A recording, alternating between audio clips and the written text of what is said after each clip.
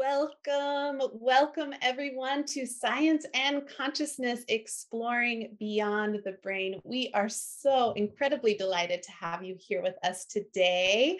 I'm seeing many people coming in, so welcome. Please put your name and location in the chat. We always love to see who our global community is with us on this call. So we would love to read out some of your names and location. We've got Johnny from Sweden. Welcome.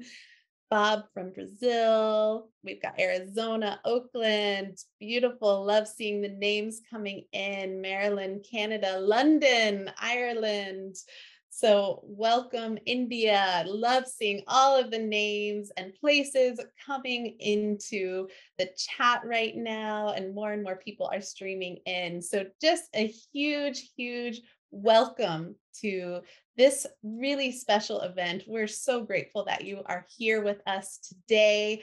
And um, I'm going to get started with some logistics, but I just invite you to continue to share um, your name, your location, and get to know who else is on this call um, with us. So we already have over 600 people here and counting. So welcome again. So great to see you all. And whether this is your first IONS event or you've been with us for decades, we are so glad to have you here with us today during this special event where we will be giving the Linda G. O'Bryant Noetic Sciences Award and having some really deep conversations around science and consciousness as we are exploring beyond the brain. So, my name is Andrea Livingston. I'm the Associate Director of Engagement and Partnerships here at IONS, and I will be your host for the next three hours. And we have just an extraordinary event planned for our time together.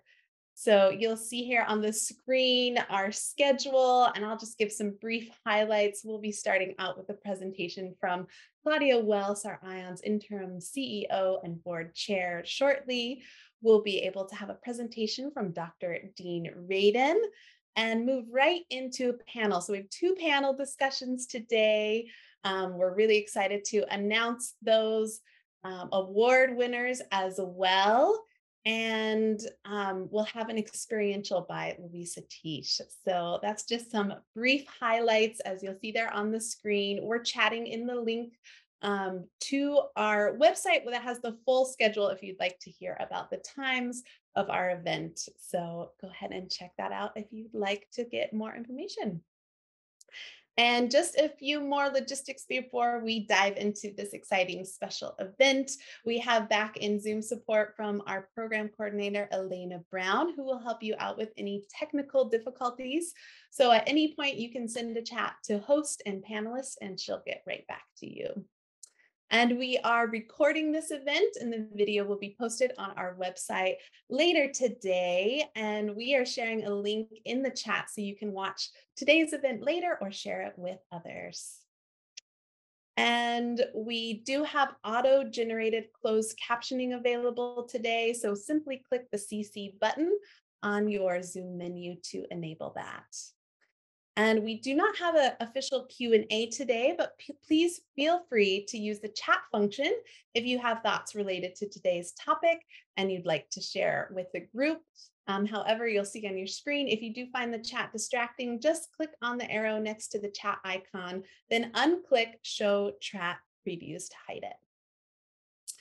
And all of our IONS free programs, as well as our scientific research, are entirely funded by the generous gifts from our members and donors. So, just huge wave of gratitude for all of you who support the mission of IONS. And if you're not a member and would like to be a part of the IONS community, please consider becoming a member for an annual gift of $60 or becoming a sustainer member for $10 a month. So, we would love to have you join us. So I think that's it for the announcements. Um, really excited for today's event, for the award, and all of the discussions that will be happening. So thank you again for joining us. And I am so delighted to pass it on to our IONS interim CEO and board chair, Claudia Welss. And her work with IONS began in the 90s when IONS president Willis Harman invited her to join a five year inquiry on peace building while she was at the University of California, Berkeley. Claudia knew ION's founder and astronaut Edgar Mitchell for many years. And it's just such a pleasure to have you kick off our special event, Claudia. So thank you for being with us today. And I will pass it to you, Claudia. Thank you. Thank you, everyone. It is such a privilege to be with all of you for what is really a historic event for IONS. And I have the privilege and the somewhat daunting task of sharing the ION story in 10 minutes. So I'm just going to jump right in and welcome you officially to the Science of Consciousness Exploring Beyond the Brain, during which we are going to be announcing the winners of the very first Linda G. O'Bryant Noetic Sciences Research Prize, established by IONS with the visionary generosity of board member Linda O'Bryant to help advance science beyond the Western materialist paradigm. This is work that IONS has been doing since 1973. And today's prize is a profound example of how IONS is still living our legacy today. A legacy of creating a global mind change based on the science of interconnectedness. That legacy started with an epiphany in space more than 50 years ago when our founder, Apollo 14 astronaut Edgar Mitchell, became the sixth man to walk on the moon in 1971. Dr. Mitchell had advanced degrees in aeronautics and astronautics, and he believed in the dominant materialist scientific paradigm so much that he trusted his life to it by strapping himself to a rocket and letting it take him to the moon. And his trust was repaid. He was returned home safely, but he was also provided with a life changing epiphany on the way.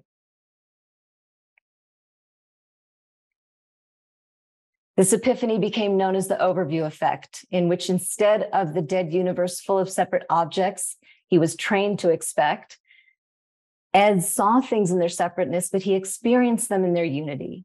And he perceived a loving and intelligent universe permeated by consciousness that he himself was actually an integral part of.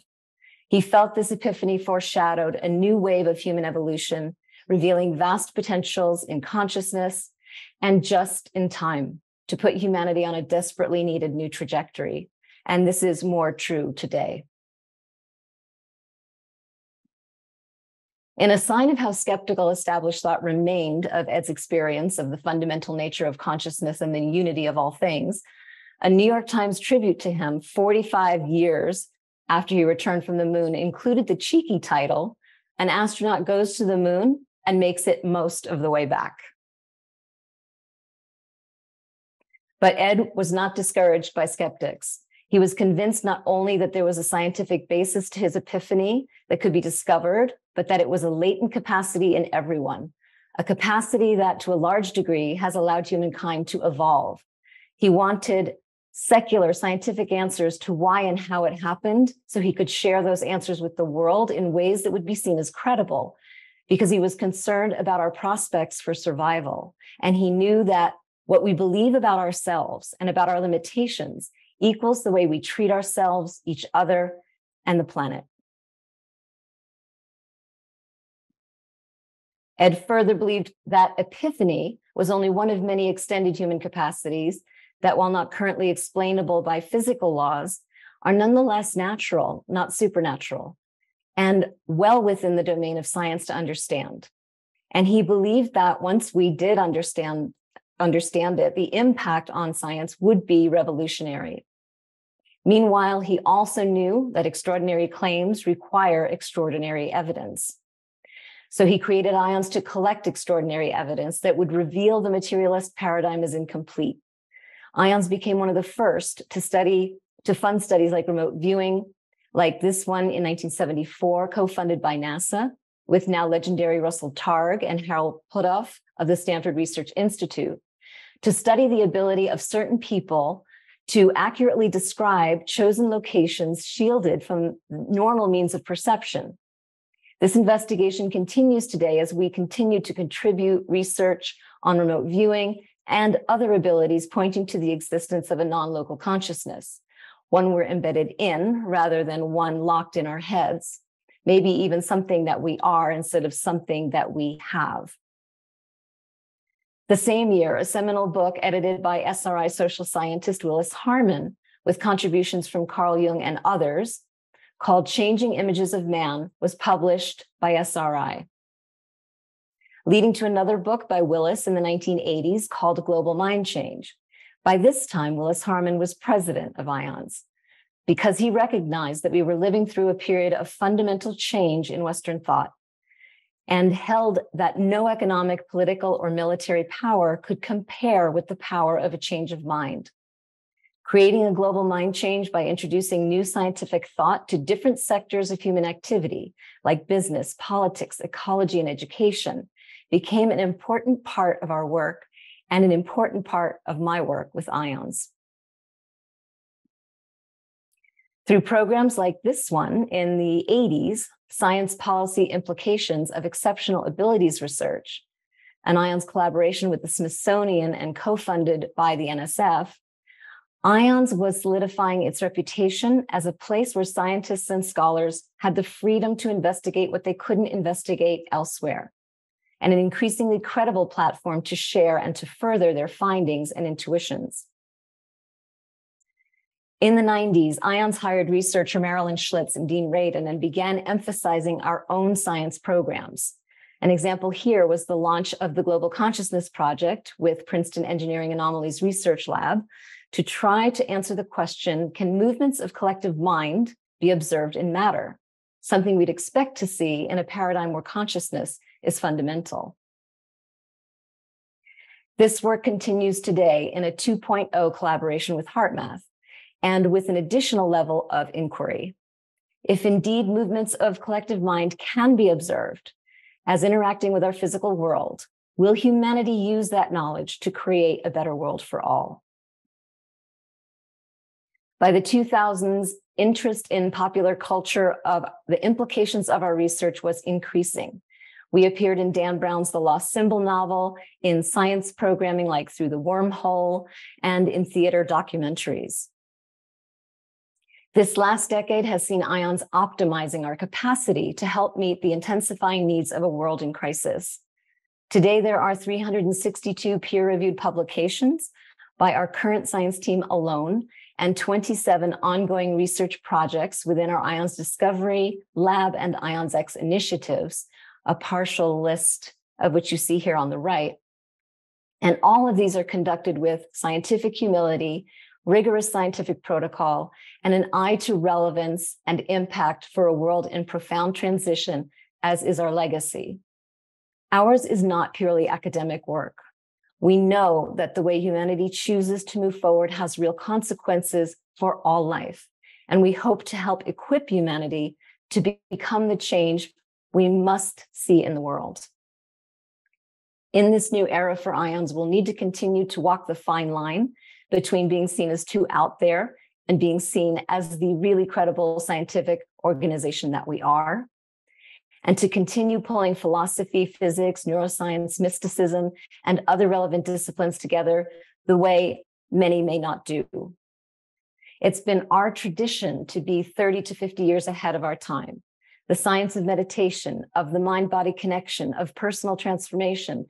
IONS was there at the very beginning with just a handful of others providing scientific evidence to help validate these human capacities. Even the overview effect has captured the imagination of the mainstream after William Shatner went into space with Blue Origin. Will we see the same kind of progress with the science of mind beyond the brain, as with the benefits of meditation and the mind body connection? Only time will tell, but it feels essential that we do for our collective well being and the well being of our planet and our universe as we edge ever closer to becoming a multiplanetary species. Now, I'd like to invite our chief scientist, Dean Radin, to join us. And I'd like to introduce Dean by quoting Dr. Larry Dossey, who called Dean the Einstein of parapsychology. And UC Berkeley's Dr. David Presti, who later called Dean a modern day Galileo of psychical research. Which one is he? Could he be both? Again, perhaps only time will tell. Thank you for your attention and please welcome Dean Radin. Well, that's a hard act to follow. I can't be Einstein because I don't have the hair.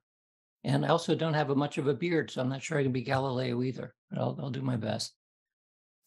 Okay, so I'm going to talk about consciousness as the two Q's and the two C's.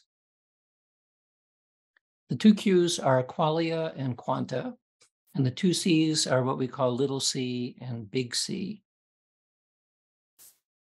Qualia has two problems associated with it. The easy problem, what are the neural correlates of consciousness? That's what the neurosciences are studying today. And the hard problem, how does awareness emerge from matter? Which, of course, is both of these were uh, specified by philosopher David Chalmers. I think the, better, the best way of thinking about how hard the hard problem is was said by Jerry Fodor in 1992. He said, Nobody has the slightest idea how anything material can be conscious. Nobody even knows what it would be like to have the slightest idea about how anything material could be conscious. So that was 1992. Here we are, uh, quite a few years later, and still nobody knows how a uh, three pounds of neural tissue in your head can be self-aware. And so maybe sometimes when you're you have faced with a problem that is seems to be unresolvable, maybe the premise is wrong.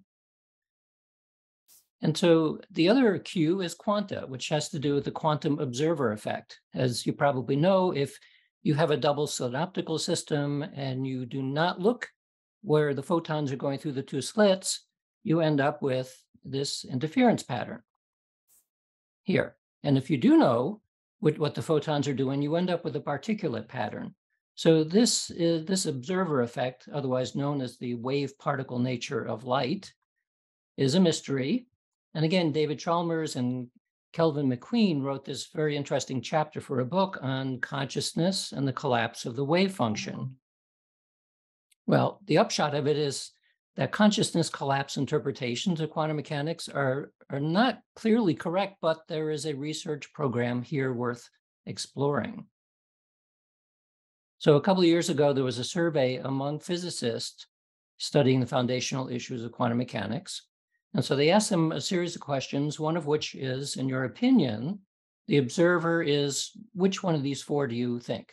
So a complex quantum system should play no fundamental role whatsoever plays a fundamental role in the application of the formalism, but no distinguished physical role, and plays a distinguished physical role. This last one is that there's something peculiar about uh, um, about conscious observation in changing the way that the physical world works.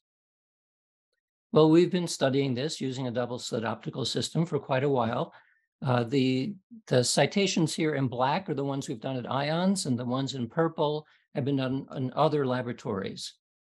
So, so far, five laboratories have done these experiments, a total of about 30 experiments, of which 14 so far are actually statistically significant. We need to be very cautious about all this because these experiments are relatively new. And you normally want to do a more sophisticated way of saying whether or not the experiments are repeating. But so far, at least at a, at a high level, it looks like there really is something interesting going on. And so a few months ago, an article was published by uh, these scientists in, at a un- university in Ireland in the journal called Progress in Brain Research, and they reviewed this, this category, this class of experiments. And the important point of their abstract is this contrary to the common belief that physical events have a unidirectional first order causal effect on cognition, these studies suggest that mental activities are capable of influencing physical systems. And so this is quite interesting because this is, I did not know these, these authors. I didn't even know that anybody was paying attention to this, uh, this line of research, but apparently people are and coming to the same conclusion that, that myself and some of my colleagues have come to, saying that there is something very interesting about the mind matter interaction. So the two C's. The, the little c is personal consciousness. It's me, it's ego, it's self. Big C we can call the universal consciousness, the, what we would think of as a mystical or spiritual or I am type of consciousness. And what many do not realize is that the origins of quantum mechanics actually began with most of the founders of quantum mechanics being idealists and specifically interested in mysticism. In fact, as it says in this article, which is published in a physics journal, a mystical hypothesis, one assigning the mind a role to play at the material level of reality, shaped the way physicists understood quantum mechanics, even at the level of fundamental equations. In 1994, Willis Harman, who was the president at the time, and a bunch of other uh, collaborators wrote this book called New Metaphysical Foundations of Modern Science. And in it, they're asking this Does the nature and belief of the observer have anything to do with what is observed? This book is the fruit of the IONS Causality Project, which was research into what constitutes reality and how things happen, to the assumptions embedded in the current, and this was 1994, scientific paradigm place blinders on what contemporary science is free to discover. And of course, yes, they do. They always do. Uh, but we've been pursuing this issue since then. Uh, that's why our experiments looking at the role of the observer in the formation of physical reality seem to be showing interesting effects and are, are now slowly being replicated by others. One of the ways that we, we discuss our research is by publishing in journals like Frontiers in Psychology, which is one of the most cited academic psychology journals out there. In this paper that we wrote, What if consciousness is not an emerging property of the brain? Observational empirical challenges to materialistic models. And in particular, you look here at the score that this, uh, there's, this is called altmetric score, which looks at millions of published articles to see the impact. So this only came out uh, less than a year ago, and it's already in the top 5% of all of the research tracked by Altmetric, and in the 98th percentile in terms of high attention, and the 99th percentile in terms of comparing outputs of the same agent source. So more and more people are becoming interested in these kinds of questions. So what is our mission? I like to think of it as exploring the outer limits of inner space. And our prevailing assumption is that matter, and this is a working hypothesis, matter is fundamental. That means uh, the prevailing assumption in science today is that consciousness equals brain activity. Or said in other words, by Marvin Minsky, we are machines made of meat, or by Francis Crick, we're nothing but a, a pack of neurons. This is the philosophy of nihilism, a pointless existence, and said sometimes by the quip, he who dies with the most toys wins. That's science today. Nothing matters. On the other hand, we have noetic experiences, connections that transcend space and time. Uh, they're called by science today as illusory or false or impossible. They're very difficult to accommodate within today's science. Nevertheless, there's a hard problem out there, which suggests that consciousness may not be equal to brain activity. It might be associated with it in some way, but not identical. So we ask the question well, what if consciousness really is fundamental? That it transcends space and time, and noetic experiences, everything from psychic to spiritual to mystical, are in fact real. That's what we study. And as Leonardo da Vinci said then, learn how to see, realize that everything connects to everything else. So, how do we do that? Well, we study noetic experiences using the tools and techniques of cognitive and perceptual psychology, psychophysiology, the neurosciences, cell biology, genomics, optical and quantum physics, qualitative methods, questionnaires, and so on. So we did this, started this in 1973. We were very far from the mainstream then because we were studying these kinds of things way back then. Well, what about now? So these are all within the last couple of years. And these are all mainstream websites that are reporting what the what science is now looking at. So, does consciousness explain quantum mechanics? A wild theory suggests that consciousness may explain quantum mechanics. So, uh, science is, is now able to discuss this openly. It's still called a wild theory because it's, it's not absolutely mainstream, but the very fact that it's being discussed is already really interesting. There's another case uh, why some scientists believe the universe is conscious. They're not mystics, But materialism is not giving good answers, so they're looking around. Another example some scientists believe the universe is conscious. Sounds like a bad trip. But what if it's true? And again, these are all contemporary, these are all coming out now. Does consciousness pervade the universe? Scientific American. Uh, this one is a, a website about space research and astronomy. Can our brains help prove the universe is conscious? If we can find the answer, it may complete our understanding of the universe. I think that's probably not actually complete, but at least add to our understanding of the universe. Another one from uh, NBC, Science News, is the universe conscious, conscious? Some of the world's most renowned scientists are questioning whether the cosmos has an inner life similar to ours. New Scientist, is the universe conscious? It seems impossible until you do the maths. What they're uncovering suggests that to achieve a precise description of consciousness, we may have to accept that all kinds of inanimate matter could be conscious, maybe even the universe as a whole. Oh no. So is consciousness everywhere?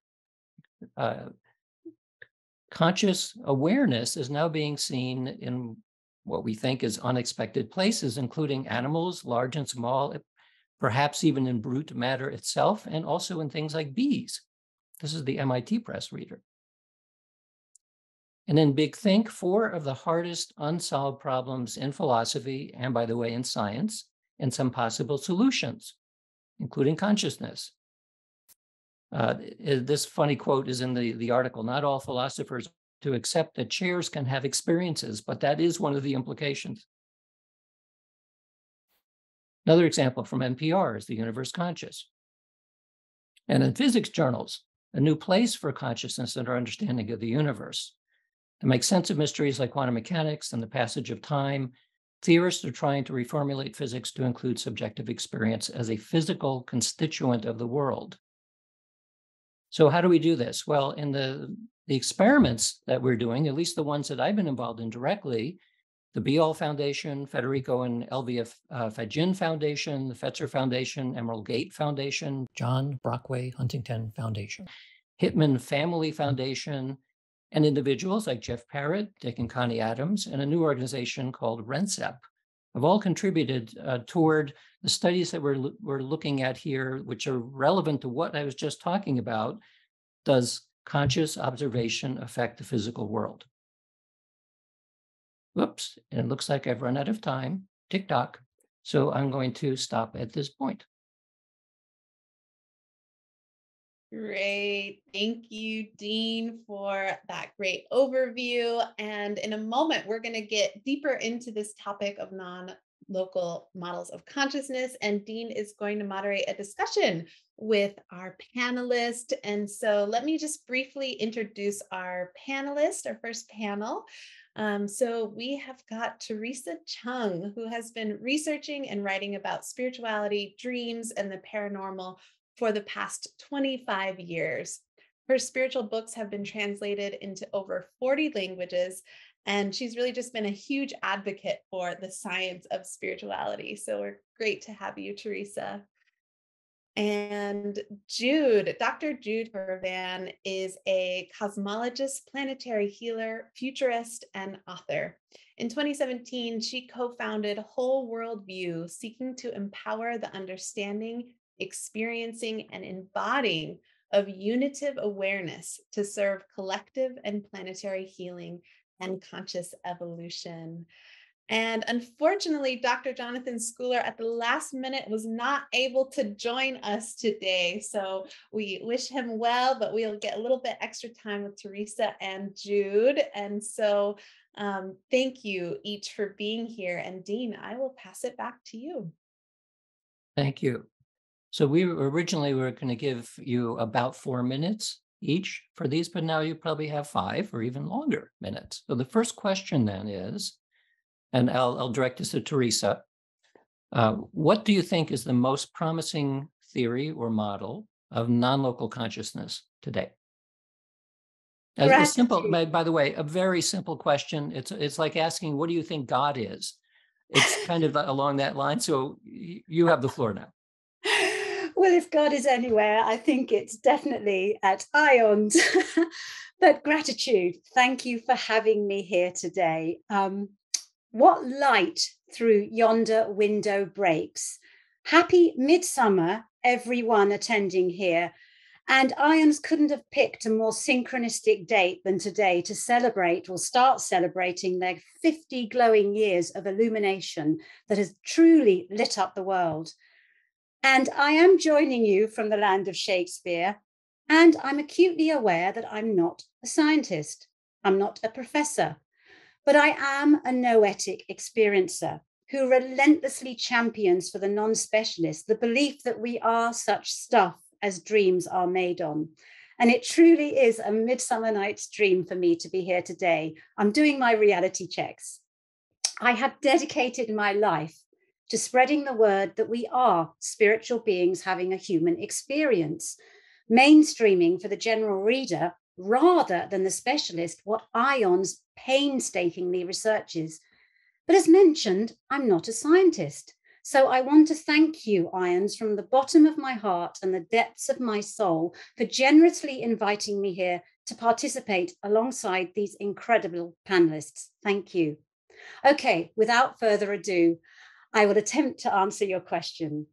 I read your recent breakdown of all the theories of non local consciousness published in Frontiers in Psychology.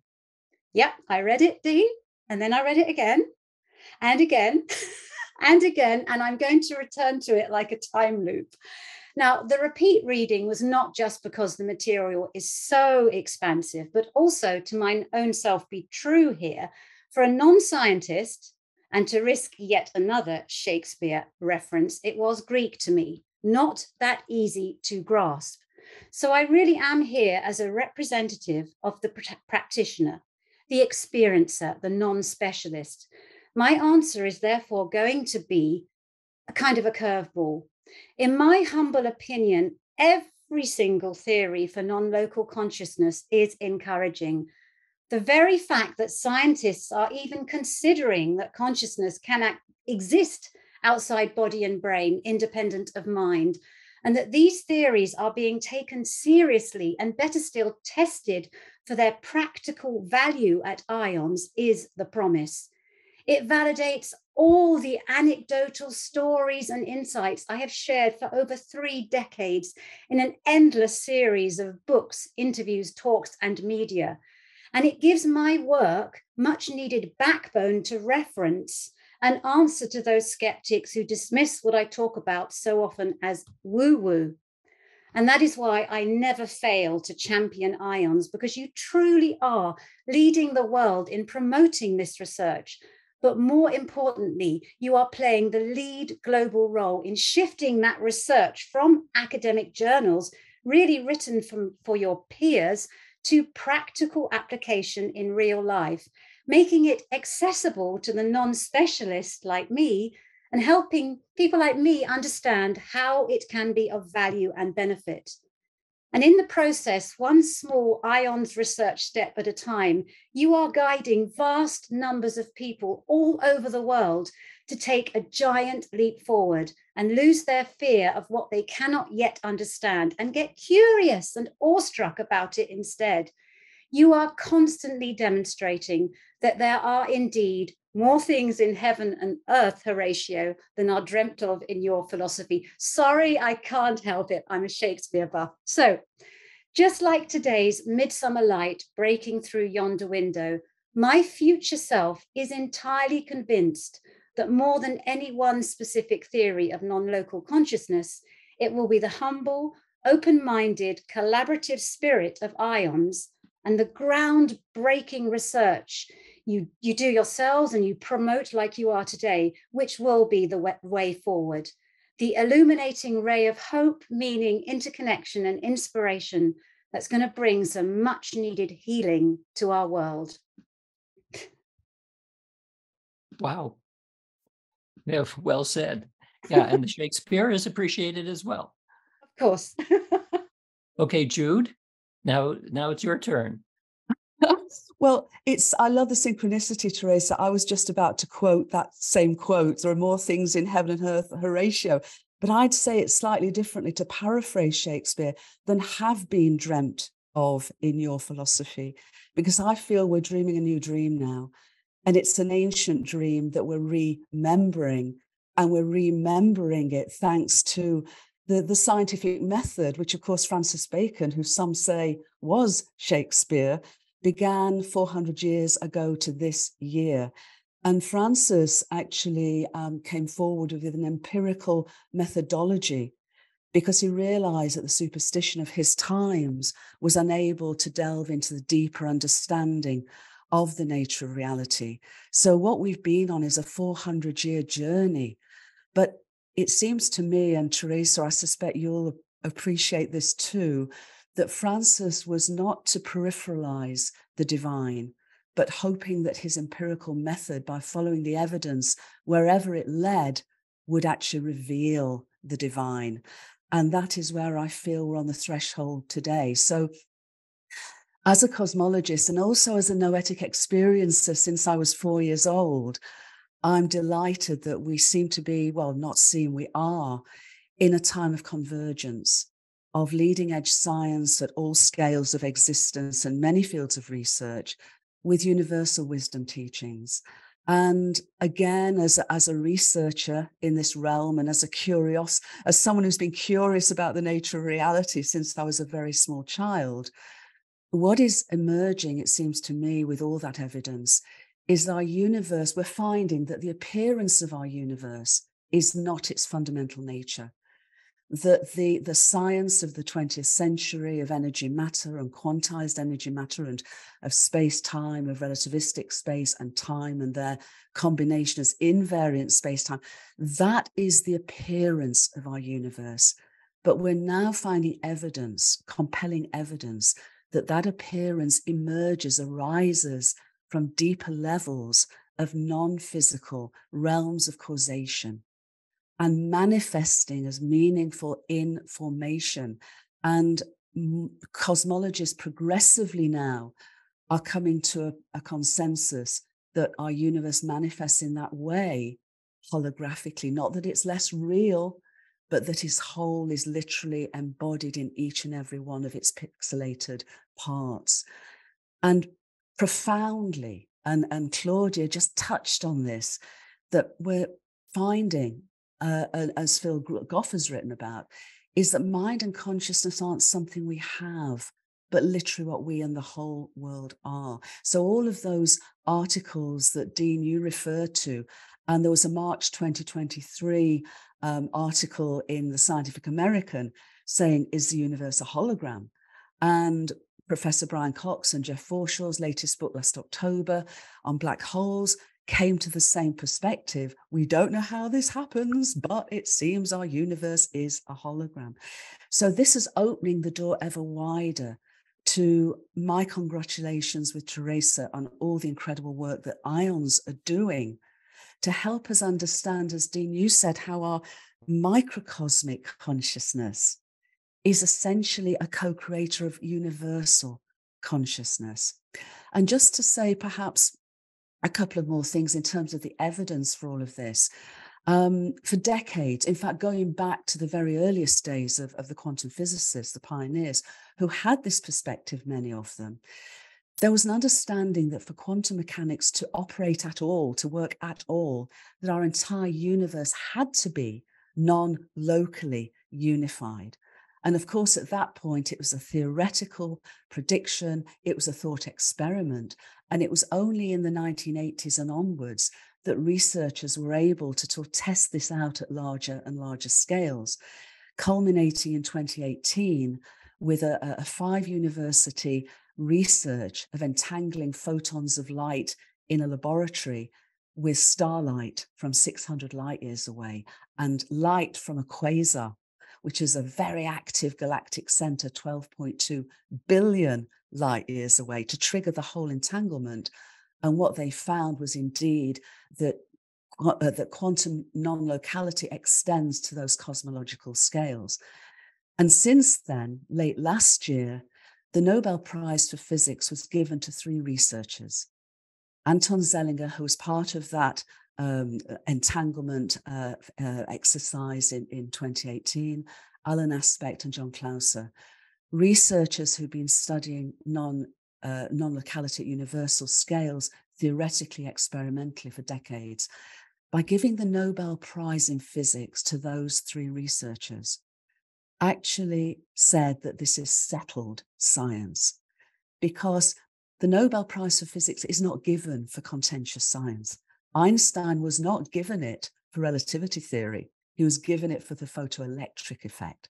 So we now have and are in an incredibly exciting moment where all of these experiments and the theoretical underpinning and framing of a universe that meaningfully exists and purposefully evolves as a non locally unified entity, a living universe, a conscious universe, where we are its microcosmic co creators.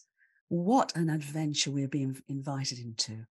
And this is an adventure that IONS have been one of the leading, if not the leading pioneer to help us understand and experience and embody what I refer to to unitive consciousness. We actually now have a unitive narrative.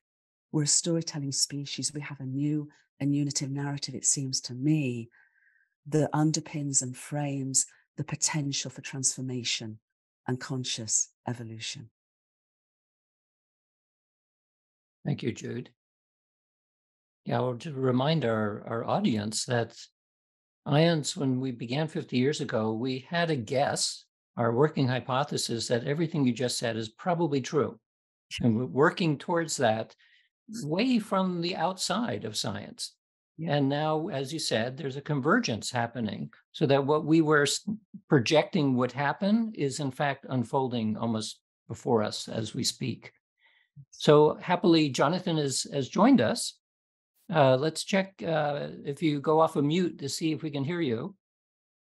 Greetings. Can you hear me? I, yes, we can. Okay, so the the the first question now for the the panel discussion was, uh, in your opinion, what do you think is the best model that we have now for non-local forms of consciousness? An easy question. well, uh, I would say that um,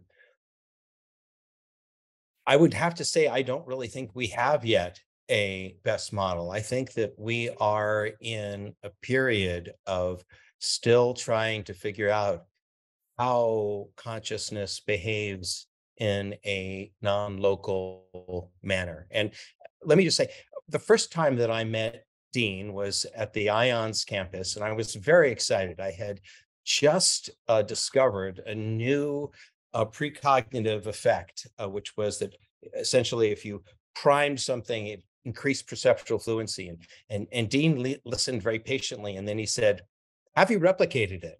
Uh, and I said, Well, yes, we replicated once. He said, Keep replicating it, it will decline.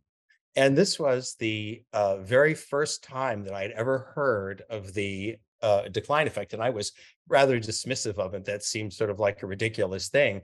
But sure enough, um, I, we replicated, attempted to replicate it 15 times, and and it did decline. And I have um, experienced a decline not only with uh, parapsychological findings, but also with uh, conventional findings. Although my conventional findings t- typically decline to um, some place above zero, whereas my the parapsychological findings that I've had have declined all the way to uh, zero. And and some of you may know that uh, even though uh, I had never heard of the decline effect when uh, Dean first introduced me to it, I have since become a a, a big uh, believer that there is something about collective consciousness where somehow beginner's luck seems to be a part of it. When we do studies initially, we get really sort of remarkable effects and uh, for some reason, I've referred to this as cosmic habituation. Um, it, it's hard to know what's going on. Something happens, and these effects get uh, smaller. And I think that the decline effect, uh, we we did a big, giant, multi-million dollar study, uh, essentially looking at um, uh, discovering new effects and then watching them um, decline as they were replicated. And then we actually included a key variable of observation. For half the studies, we observed the, the finding after its confirmation and all the replications. And for the other half, we waited uh, until the uh, all the studies had been done. And the effect was significant at the 0.10 level. So uh, significant one tailed, but not two tailed in the predicted direction. So unfortunately, the paper submitted to uh, Nature does not include, uh, does not make hay of this effect. But mm-hmm. I, I think that this effect is real and that when whatever kind of uh, non-local consciousness uh, theories ultimately come out there, uh, we need to integrate uh, the decline effect into it. It's a bit like Rupert Sheldrake's morphic resonance, but kind of the opposite. Uh, mm-hmm. so that's going to be a factoid that, or a, a probabilioid that's going to be need to be included. Yeah, I agree. And it's so what's interesting about the uh, the decline effect is that it appears to have something to do with observation. And well, so does the, the idea of quanta. It's the, the quantum observer effect. It's like a Heisenberg uncertainty principle. The more you look at something, the more, more and more difficult it is to actually see it, combined with the wave particle duality of light. So there's something about the nature of observation that is changing something out there. And perhaps the more subtle the effect that you're looking at, like most psi effects are relatively subtle, you look at it too, too carefully and it begins to go away and pop up somewhere else. Mm. Okay, so let's uh, let's go to the second question, which is what is the relevance or importance of noetic sciences and studying these kinds of effects, non-local effects? So I'll toss it back up to Theresa. Uh, let me count the ways. And just listening to you two, Jude and Jonathan, I feel I'm growing in, intelligent. I can't match your science speak at all, but I'm just going to speak from the heart and from my readers who come from all walks of life. And sometimes the science is hard to understand if you come from that perspective. But from my perspective here right now, I'm looking at the chat coming in and people saying things like, my heart is opening. So even if you're not understanding everything, people out there listening, because I'm not, I'm going to listen back. Your heart is opening, right? That's what is happening. Just listening to these awesome people is helping you grow. So listen, listen to what they say, listen to it back. But to answer your question, Adine, from my perspective, it helps me feel liberated and free. It helps me understand that I'm more than I can imagine I could ever be. And I'm not limited to what I'm consciously experiencing right here on right now. Knowing that my life isn't defined in entirely material terms and that my life is about finding myself uh, rather than creating myself. And this awareness that outer change starts from within. In my world, it's, you know, my popular podcast world. And when I talk to celebrities and, and the media, it's manifesting we're talking about here. It does give your life deeper, greater meaning and that inner strength to work through painful, tough times. Life isn't easy. But if you have that, what IONS is, is helping people to understand, you don't feel like a reed blown in the wind anymore, getting your validation from externals. Your inner world and the choices you make becomes your compass. And it's utterly liberating because you've shifted from existing to feeling alive.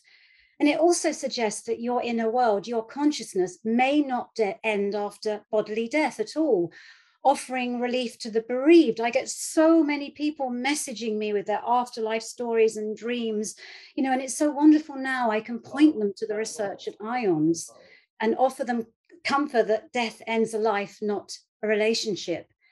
Additionally, it offers us all the ability to mentally time travel, to comfort our past, be there for ourselves in the past, but also challenge our potential future self discovering in the process that we are vast, infinite, and the great adventure is directly oh, experiencing this vastness and value, while at the same time knowing you are truly, madly, deeply interconnected with everyone and everything. Knowing that the real hope for humanity resides in the power of collective inner transformation and the earth shattering empathy, compassion, and intuition it can unleash. That's game changing, not just individually, but for the collective. Now, I'm perhaps best known these days as a dream work author. And in my humble and un, well, obviously biased opinion, dreams are the door, an instantly accessible entry point to this infinite awareness of your vastness beyond your body and brain, time and space. For want of a better word, as my background is in theology too, your soul. But of course, there are other ways to become aware of consciousness beyond your brain. And over time, and as noetic research inevitably filters in the mainstream, I pray that discovering your noetic signature, pioneered by the amazing Dr. Wahbeh, becomes as readily accessible a self help tool as the Myers Briggs test, personality test, for example, surpassing it even, for without awareness of your own inner world, your own infinite potential beyond the material, and how best you can harness it for both personal and greater good, Everything else is empty and without substance, a clashing cymbal and noisy gong. The world has recently been gripped by this Titan disaster. Now, as deeply, deeply tragic as it is, it is yet another reminder to us all that no amount of external exploration or wealth can ever be as important as the adventure within. And ION's founder, Edgar Mitchell, proved that life hack loud and clear. He walked on the moon, people, but it was his experience of transcendent interconnection that was the true adventure of his life. Such a deeply relevant meaning here that the purpose and adventure we seek out there isn't there at all. It's already within ourselves, within our grasp, right here, right now, this moment so, to conclude, as brevity is the soul of wit, one day I dream that because of the visionary research IONS pioneers and scientists promotes, the first question, rather than the last question, as it sadly still is, everybody asks as the sun rises on the miracle gift of each new day is what should it profit me to gain the world and lose my soul? Thank you, Theresa. Okay, let's go to Jude, and it looks like we have about eight minutes left, so maybe a four-minute wrap up, if that's possible. Why is studying non-local consciousness important? Because we are non-local consciousness. it's who we are. So it's actually about experiencing and exploring that fundamental nature of not just our own microcosmic reality, but the reality of our universe which, as I said earlier, you know, the Nobel Prize has just been given for universal non locality. So we're in a time where all that IONS has worked for for so long and inspired by Edgar's own noetic experience is actually coming into much, much more of a clarity and a realization. And you know, our worldviews drive our behaviors. We've we've been within a, a collective worldview of materialism and separation as Dean, you mentioned, and as, as Claudia mentioned. And that now, the evidence now, and I think this is why it's a game changer, the evidence now is turning that on its head. But it's doing so not just of importance to scientists, it's not just showing that this is the case um, at scales that are huge or tiny or out there. As Theresa just said, this is potentially transforming us on an inner and outer level because it's showing us that not only do we have a perception of inner meaning, but the whole universe embodies existential meaning and evolutionary purpose. So this, it, you know, this really transforms our abilities to live our lives. You know, I sometimes talk that say that intuition is our superpower. Intuition has no place in a paradigm of materialism and separation. It has a natural place within this emergent new understanding. Supernormal phenomena also have a natural, there are natural heritage, there are natural attributes as microcosmic non-local consciousnesses within our, our universe. Um, synchronicities, I mentioned a synchronicity with Theresa and, and myself right up at the beginning. You know, again, these have no place in that old materialistic paradigm. They have a wondrous place, a way shower place, a fun place, a joyous place within this emergent understanding. And I agree with Jonathan. This is a work in progress. And yet is a work in progress that has such convergence and convergence that is accelerating even over these last couple of years. So I think we're an incredibly, not just exciting time, but an existential time because this is our moment of choice. Do we choose, sorry, do we choose still to be within that old paradigm of materialism separation, which is completely unsustainable and now we know is fundamentally wrong?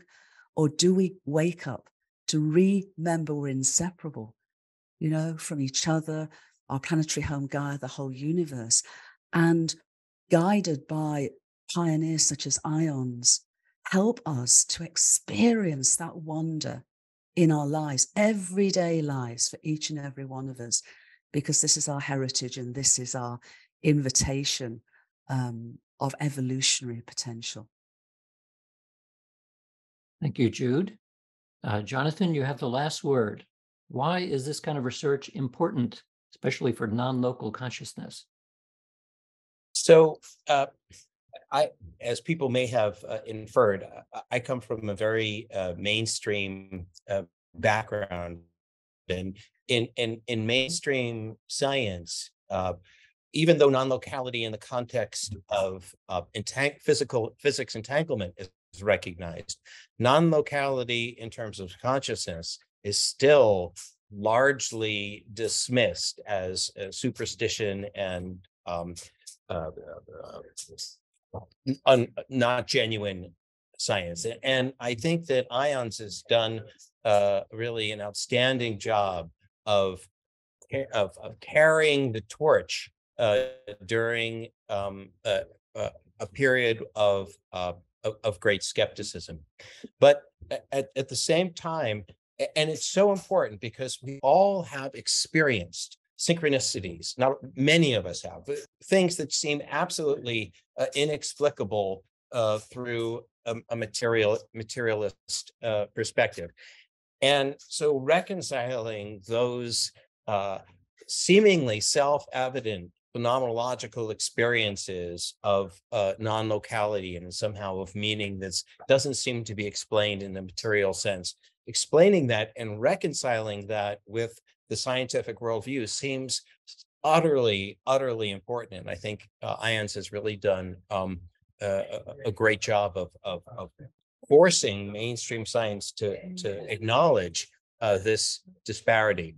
But at the same time, I think that it's not just a matter of uh, mainstream science not taking uh, the, our findings findings seriously, that there are some really, really curious things about the way that uh, that parapsychological things enter the world. I have been tending to think that in the end of the day, we may come to find that, and the way I like to put it colloquially is magic is local, that we each can experience magical things and synchronicities. As scientists, we can discover individual things, but for some reason, when we try to line them all up together into a sufficiently compelling story so that mainstream science will have to take it uh, to task, it somehow disintegrates and that that may be part of the process uh, and that rather than uh, sort of dismissing that we should try to explore how could it be that magic is local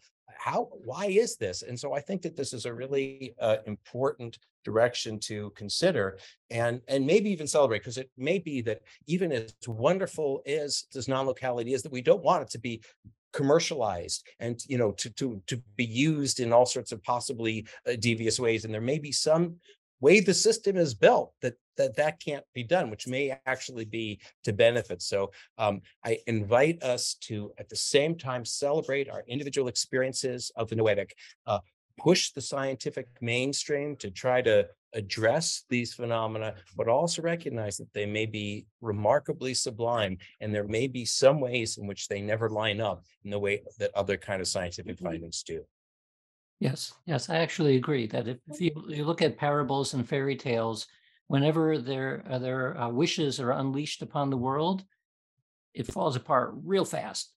So there there may be some kind of governing principle that prevents the universe from exploding, and nevertheless the phenomena are real. So as you're saying, there's there are clues about what's going on here, and if we're clever enough, maybe we can figure out uh, how to interpret those clues. So I, I want to thank uh, Theresa and Jude and Jonathan for their comments on this panel. And I guess the time is up, so we're, we go back to Andrea.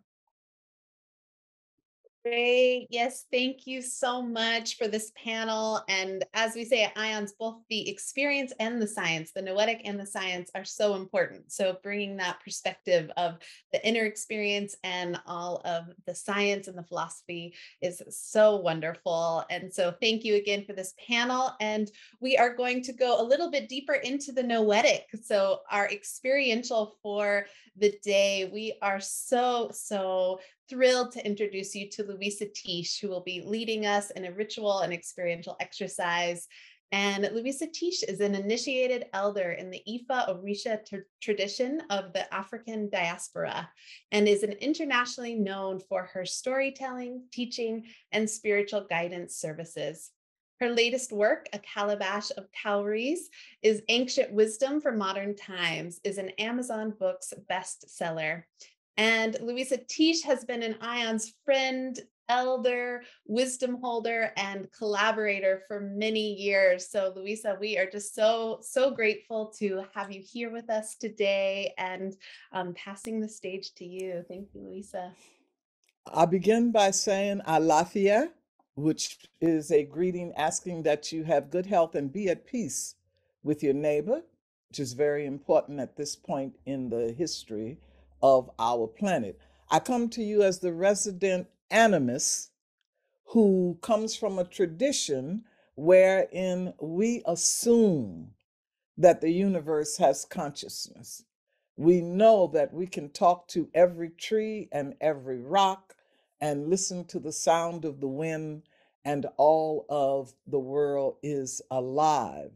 So, from our point of view, the question that is being asked is not the problem of the universe, but the problem of those of us who are locked in being finite instead of opening ourselves up to connect to the infinite, you know, and understand our relationship to it.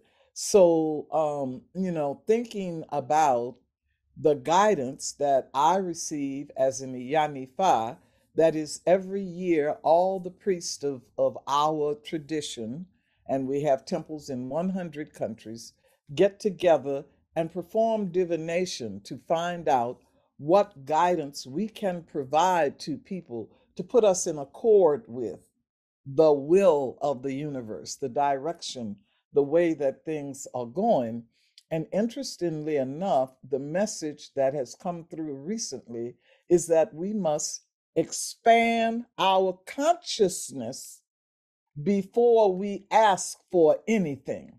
Okay. So the way we're presently thinking and feeling is smaller, is tighter, is more closed off than the spirits or the orishas want to give us. You know, we are facing a time of change where we have to change how we think and what we feel in order to be able to receive the greater good. So, given that message from um, from the divinities, the best offering that I can make to you today, I feel, is an exercise or what we call an Ori blessing.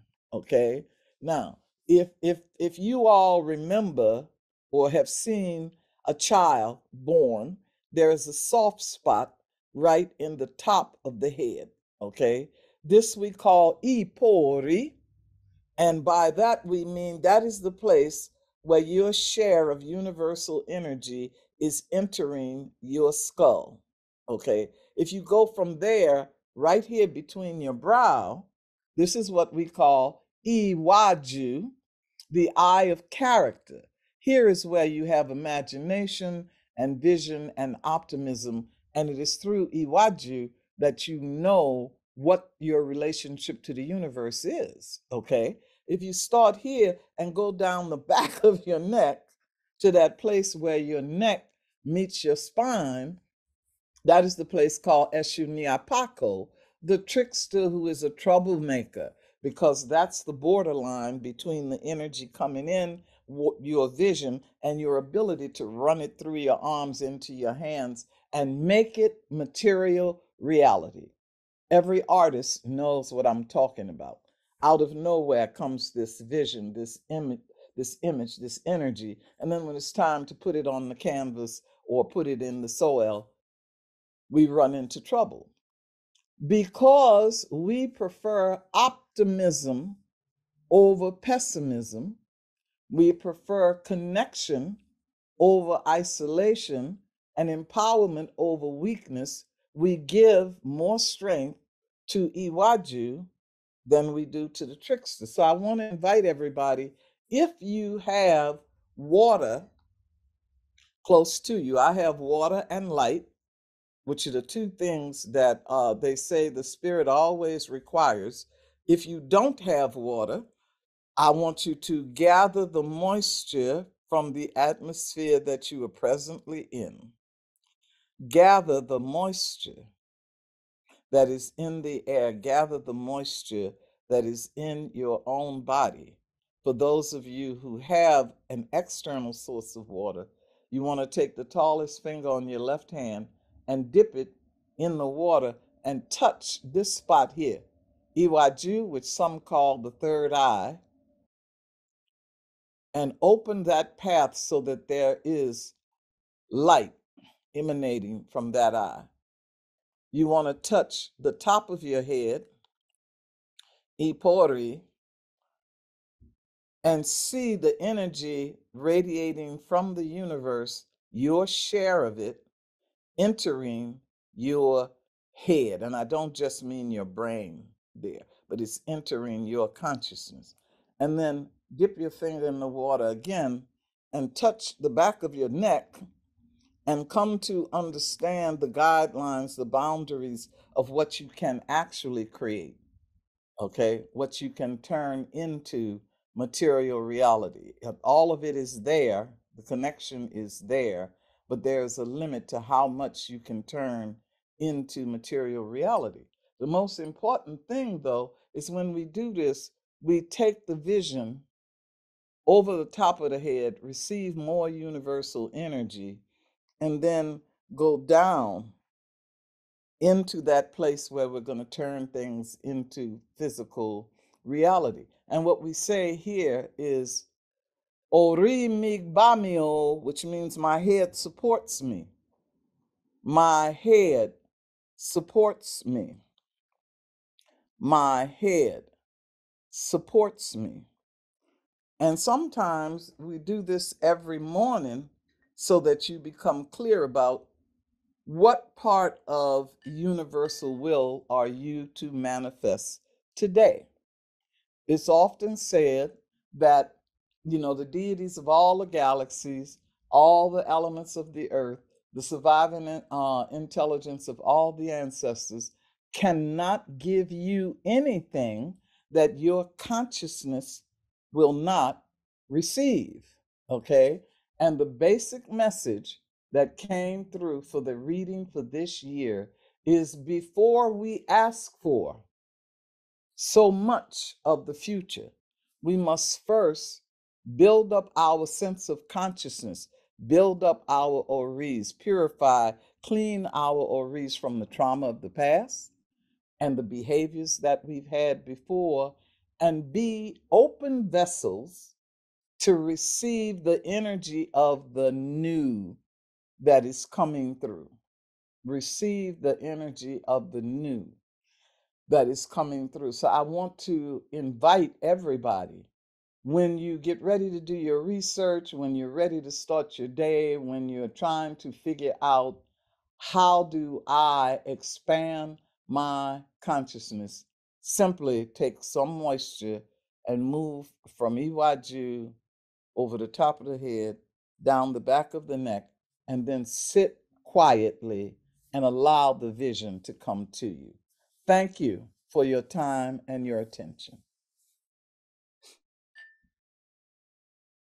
Thank you, Luisah. Incredible practice and the wisdom tradition that you hold. And as mentioned, just so important that we have these ways that we can connect with the noetic in whatever way and with the science. So thank you for offering your practice and your perspective and your wisdom. We're we're so grateful. Yeah, we're so grateful. And what a beautiful practice to bring us into um, any point where we want to call in that alignment. So thank you, dear Luisah. And um, so we've already had so many amazing conversations and now this experience, and we are going to go into the time where we talk about our award, Linda G. O'Bryant Noetic Sciences Research Award. So we are really excited to announce our winners um, be able to see the presentations that won the award and then have a panel discussion about it. So first, I want to introduce you to Dr. Arnaud Delorme, who will be talking about the process for determining the winner of the award and a little bit of background before we transition to the award winners. So Arnaud, thanks for being with us. And Arnaud is a just a couple sentences about your background. Arnaud is a CNRS principal investigator in Toulouse, France, a faculty member at the University of California, San Diego, and a scientist here at the Institute of Noetic Sciences. Starting in 2002, he began to look at brain changes underlying extraordinary states of consciousness, including meditation, psychoactive agents, and mediumship and he is the author of over 160 peer reviewed publications. So, Arnaud, passing it on to you now. Thanks for being with us. Thank you, Andrea. So, um, as Andrea mentioned, I'm going to uh, give some background about the price and what is the price about uh, uh, anyway. And uh, first, I want to mention uh, our pa- uh, paper we published last year what if consciousness is not an emergent property of the brain? And so that's a paper we've published with Helané Dean and our PhD student Cedric Cannard. And we set the stage to uh, test hypotheses that uh, basically go outside of mainstream. In mainstream, as Dean mentioned, consciousness emerge uh, from the brain. And what if it's not the case? So that's really what started this whole prize. And this paper uh, I have uh, uh, colleagues in mainstream academia. We talked to me about this paper. Uh, it, it's got massive interest. You, this is Altmetric, so this is uh, among all research paper of all disciplines, uh, physics, biology, and neuroscience. And you see this one is in the top 5%. So a lot of people are actually interested in, in that question. And so we published the paper and um, and then uh, we were uh, lucky that uh, Linda uh, decided to uh, set a bad price, and she asked us, "What should the price uh, be about?" And so um, we gathered with our jury, and I'm going to show you the jury in the next slide. And we came up with this specific wording. We want to be the prize for experiments testing scientifically the hypothesis that consciousness is more than an emergent property of the brain.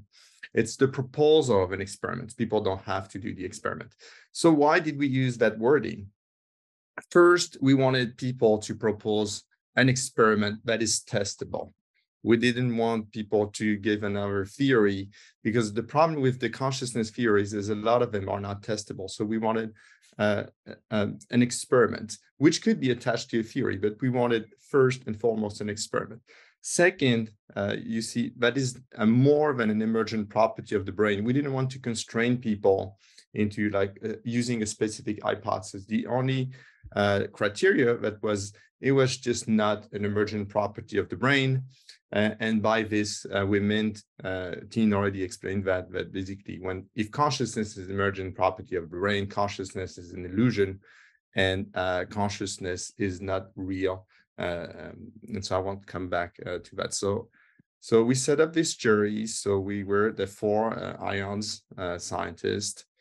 Uh, so Helané, Dean, I, and Gary was a molecular biologist. I'm a neuroscientist.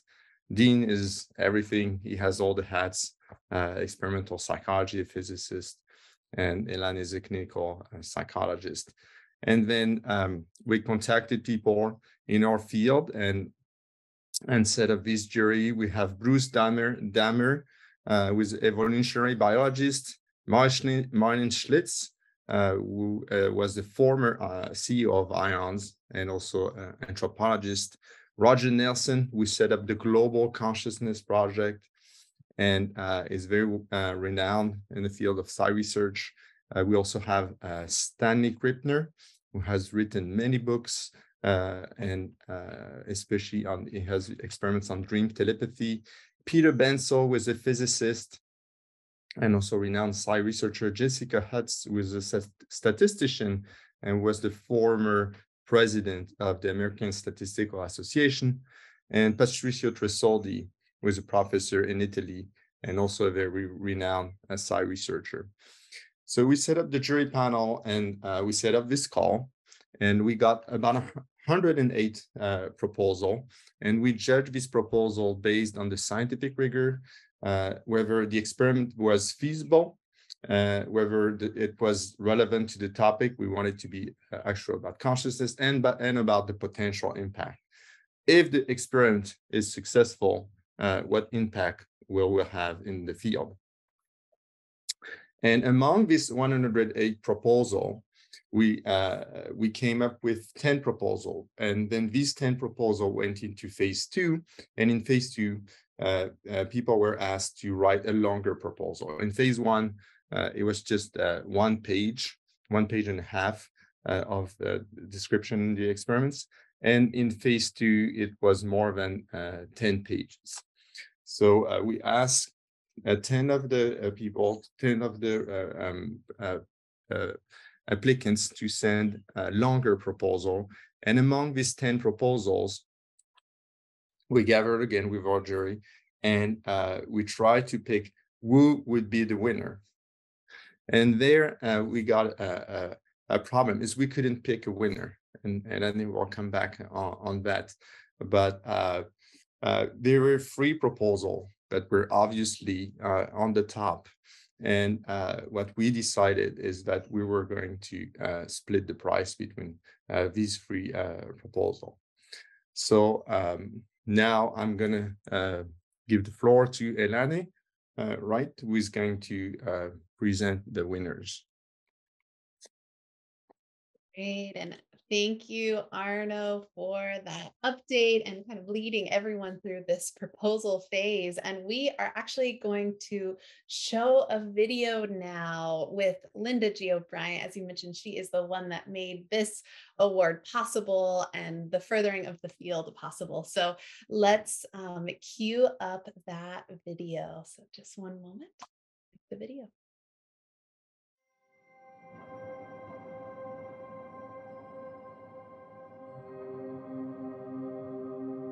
Noetic science is the study of consciousness and its relationship to the physical world, and investigates if and how humans might influence our personal and collective reality, not only with our behaviors, but with our thoughts and beliefs, with our attitudes and emotions. Are we separate from each other, from nature, and from the rest of the cosmos? Or is all life deeply interconnected, as many feel? Is consciousness a product of the human brain or something more primary and causal in the universe? In what's been called a near death experience for our planet, we're participating in a dynamic tension playing out between two paradigms based on two competing worldviews. As IONS founder, NASA astronaut, and sixth man to walk on the moon, Edgar Mitchell observed from space, we're all in this together, and we need to start behaving like it. The Noetic Sciences equips humanity with a more holistic view of consciousness in a way that can, in the words of futurist Buckminster Fuller, convert humankind's tendency toward oblivion into a realization of our potential. Within this context, visionary board member Linda O'Bryant and IONS have established the Linda G. O'Bryant Noetic Sciences Research Prize to help address these questions, shift the current scientific paradigm, and build the field of noetic sciences. I'm here today as a board member, a longtime donor, and chair of the IONS Development Committee. With the recent sale of IONS campus, we are now able to seed its first multi million dollar endowment This will help to provide financial security for IONS in many generations to come. As we head into our 50th anniversary, IONS is a solid nonprofit. During COVID, scientific research accelerated and experiential programming participants quadrupled, with ION's sole purpose being of service to humanity and our planet. I have been thoughtfully reviewing this past year and contemplating what do I want my legacy to be. And today I am delighted to announce that I have established the Linda G. O'Bryant Noetic Sciences Research Prize. This annual prize of $100,000 is designed to provide IONS worldwide visibility. The prize will be given to an external individual or team who has proven research to advance leading edge science around consciousness. It is my hope that this prize will yield discovery. And as my dear friend and mentor Mary Morrissey said to me, what if one of those ideas could change the world? I genuinely believe that together we can open both the financial and energetic pathways to a flourishing planet that embraces our interconnection with all. Thank you. And thank you for your support of IONS.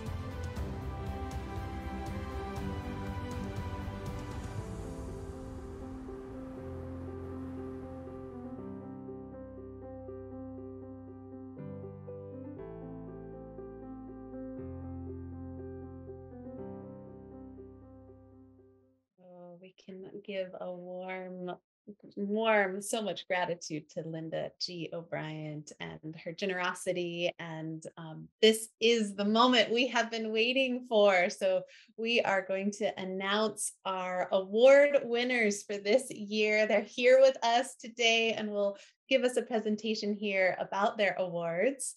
Um, and to announce the awards is Helané Wahbeh. So let me just introduce Helané to our webinar stage. So Dr. Helané Wahbeh is the Director of Research here at the Institute of Noetic Sciences and an adjunct assistant professor in the Department of Neurology at Oregon Health and Science University. She has published on and spoken internationally about her studies on complementary and alternative medicine, mind-body medicine, extended human capacities, and is especially known for her research around a noetic approach to channeling. So, yes, this is the moment we've been waiting for. Helané, let me pass it off to you now. Thank you so much, Andrea. And it is so exciting for me to be here today on this long awaited day. And I have the incredible privilege of being able to announce the winners to you. So what I'm going to do is to announce the winners one by one. And then after all the winners are announced, we'll move into uh, presentations where the winners actually get to share with you about their testable theory of consciousness. So without further ado, on behalf of IONS and the Linda G. O'Bryant Noetic Sciences Research Prize, the first winner is for the proposal detecting deviations from random activity as indications of consciousness beyond the brain. And the winners are Wolfhardt Janu, Vasileios Basios, Pierre Francesco Moretti, Peter Mary, Annette Grathoff, and Vicente Arez. Please have a warm virtual round of applause for this incredible team.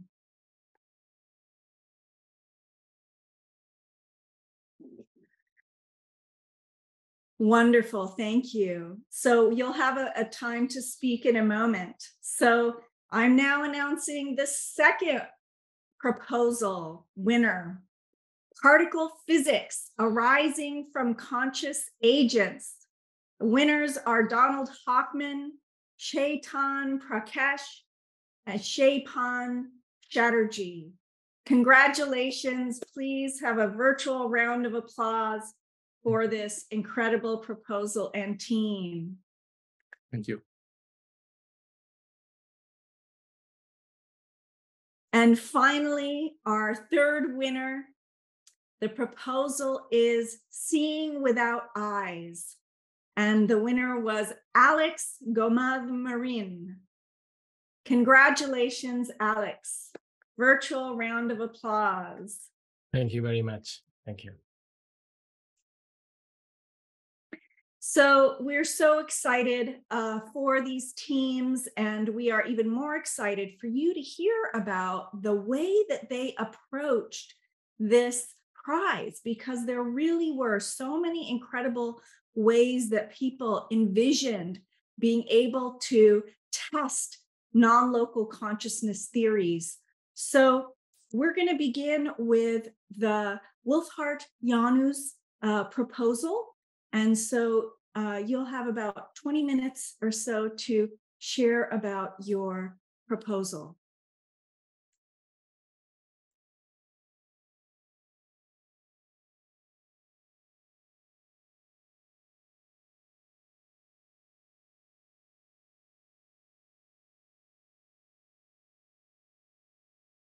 Just a moment.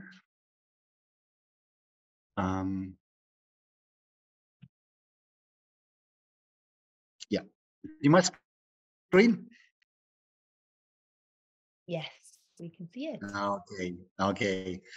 Um, so I think we, I'm first of all, my team and I we are very, very honored to to be here today, and um, especially because we we we started did some kind of research just some three years ago.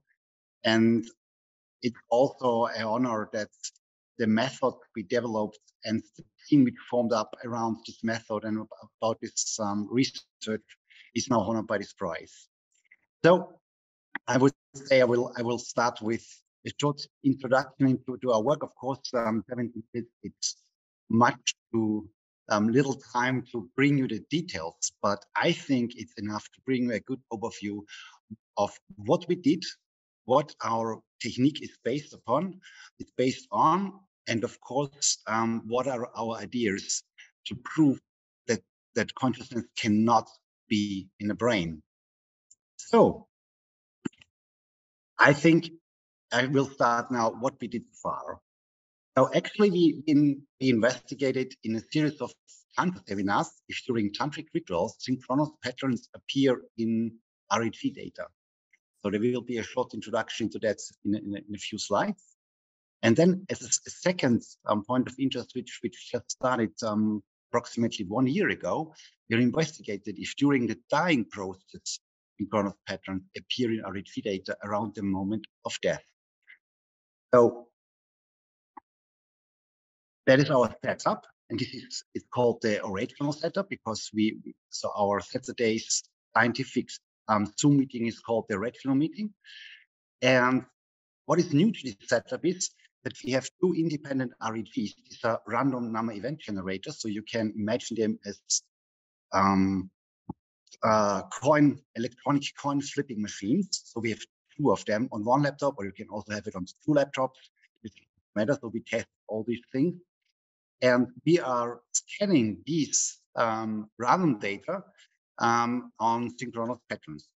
So now you see what a classical materialist would expect um, um, out of such experiments. A classical materialist, from this viewpoint, you would just expect two independent plots inside this um, red parabola. The parabola is the border of significance. This is uh, this is more or less baseline data, and they were recorded in German hotels under um, blank value conditions. And now, of course, the interesting question is, what did we find during the Tantra seminar or later on during the process of dying? And short introduction to the technique. So what we are doing actually, um, so this is mainly based on, on so the idea to take two RHVs is based on intuition and then a little bit of luck. And then, of course, two years of hard work. So this is now what is the result of this hard work. Um, so we programmed, so I programmed the software which is searching these two random number um, event generator output streams, which you can um, plot in random box for certain kind of patterns. So I'm searching actually the data fully automated um, for, for, for significant synchronous patterns. That means if, for example, Alice and Bob, so the two coin flipping machines, flip both at the same time more, more um, once, so and leaving the parabola, this would be one significant pattern. Another one would be, of course, if one array, one coin flipping machine tosses significantly more once, then when, and at the same time, the other coin, um, coin tossing machine um, is tossing more zeros. So then also you will get a significant pattern. And the third one, and I think this is only visible if you take um, two random event generators, um, um, you can find that one is both are not significant alone, but they're but both together are significant because the minimum distance between the random walks gets significantly small. You can imagine this that the two are sticking together for um, for a significant long time. And of course, as random number event generators or coin flip machines are based on statistics, you can easily calculate the value how unlikely um, a certain pattern appears. So um, we get for each signal um, a signal like graph, an output. So we have a software. Um, the software scans through the whole run to the um, through the data streams and find significant patterns. And and the thing is, um, the software itself um, scans for the starting point. Yeah, that means um, we do not. If we have, for example, an a, tantric ritual, um, we write down during this ritual what what happened at the ritual, what was maybe what was the starting point, where where there have been the emotional highlights or the deep moments, meaningful moments. This is one thing. But the other thing is that then software fully automatically says where from the data point of view significant points are and where do they start.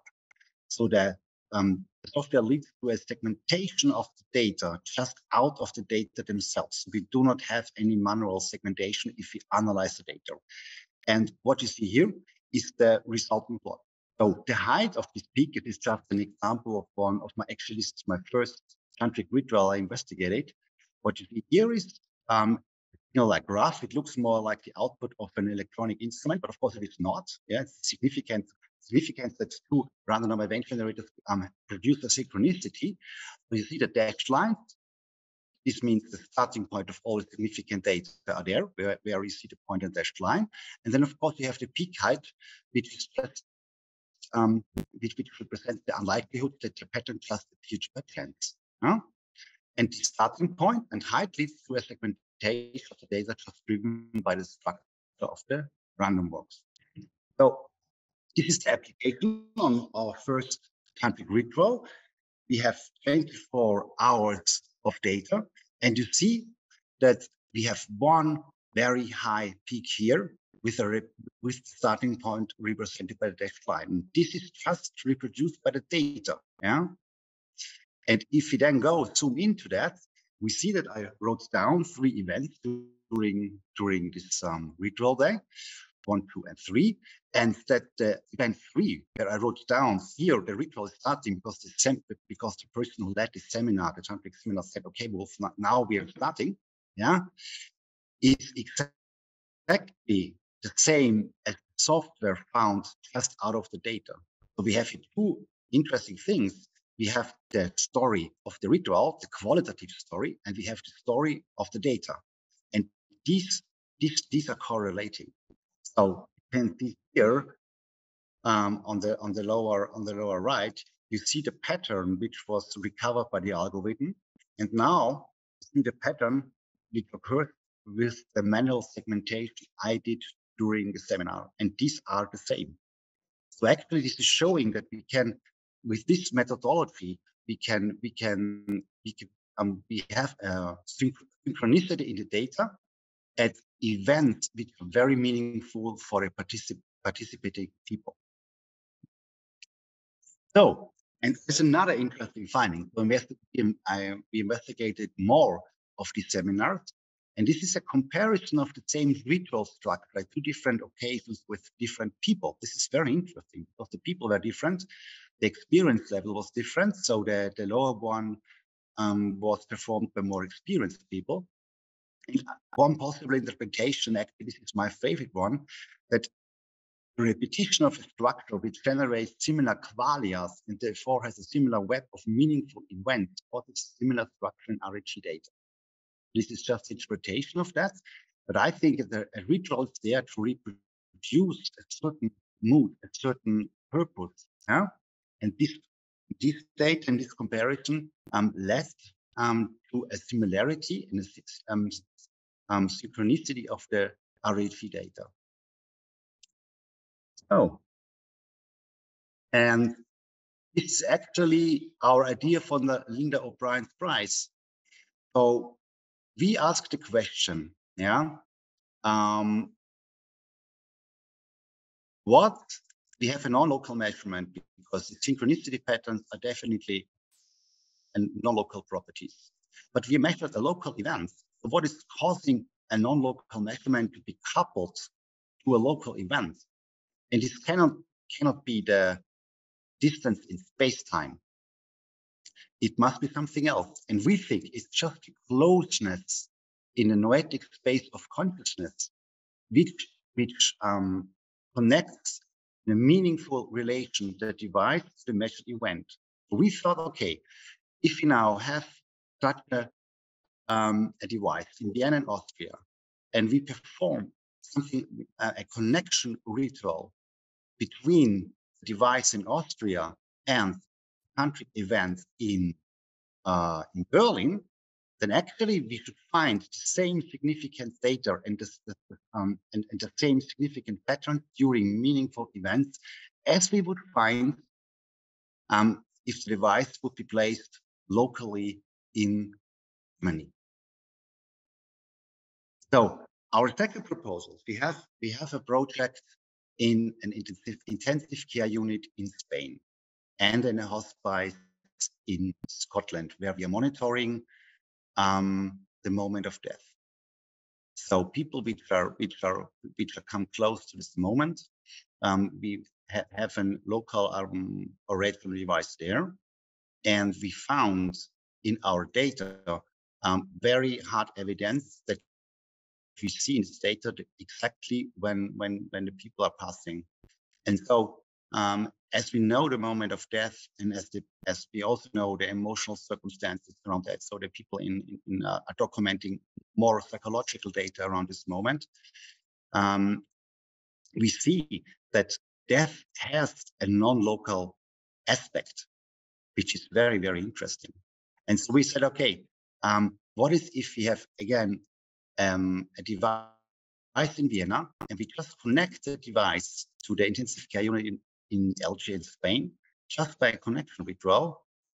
And the connection ritual is something intuitive, you know. Um, so we, we said, okay, we will, we in, in, this case, we will have a photo of the room of the patient and we, and we, we just um, do something like um, a, a, meaningful contract between this space in Spain and the device in Vienna. In the tantric, for the tantric ritual, we decided, okay, if we have a photo of the device in Vienna, um, we, we, we, will, we will just invite the group to feel connected to the device, and then we will look if it just monitors the data as it was, would, would be locally there. And the nice thing on this is we also can have a control experiment because we have four devices in the same room. They share the space-time in Vienna. We will roll a dice, which of the devices will be connected by a connection ritual. Then we perform the connection ritual, and then we should see the difference between the plots of the connected device and the control process of the, the non-connected device. And connection means psychologically connected, psychologically close in the noetic space of consciousness. So um, this is our weird research, weird research team. Um, so I think, um, so of course, I'm thought of myself, Dr. Nete Kratov, Dr. Vicente Ares, who is leading the project in Spain, Vasileios Basios the physicist of Belgium, Peter Mary, who initiated a lot of the things um, regarding beard research, and um, our another physicist, um, Pierre Francesco Moretti. And I think you can imagine that we have a lot of deep discussions what the what's the results are telling us. But actually, for us, it's too early to come to a to a final conclusion what consciousness is about. So we are now in the process just of designing experiments and collecting data.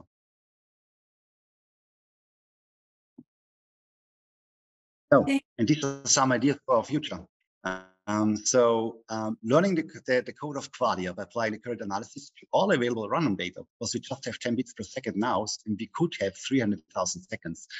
But actually, um, the calculation power we have now in our computers much too slow to do that. Of course, we also have the, the idea that we get the full information of the field of consciousness in the process of dying and in human interaction. And I think also a very interesting idea would be to decode the field of consciousness during seances. Look what we can read out of the data. So the main question is, does the pattern or the shape of the pattern in the qualia corresponds, also in the data corresponds to certain qualia? But this is of course a question we will hopefully come closer to an answer in the future. So thank you for your attention and maybe some nice pictures. So um, you can join us at the Science of Consciousness with time. So that this, this year is the topic is time in the Broughton Sanctuary.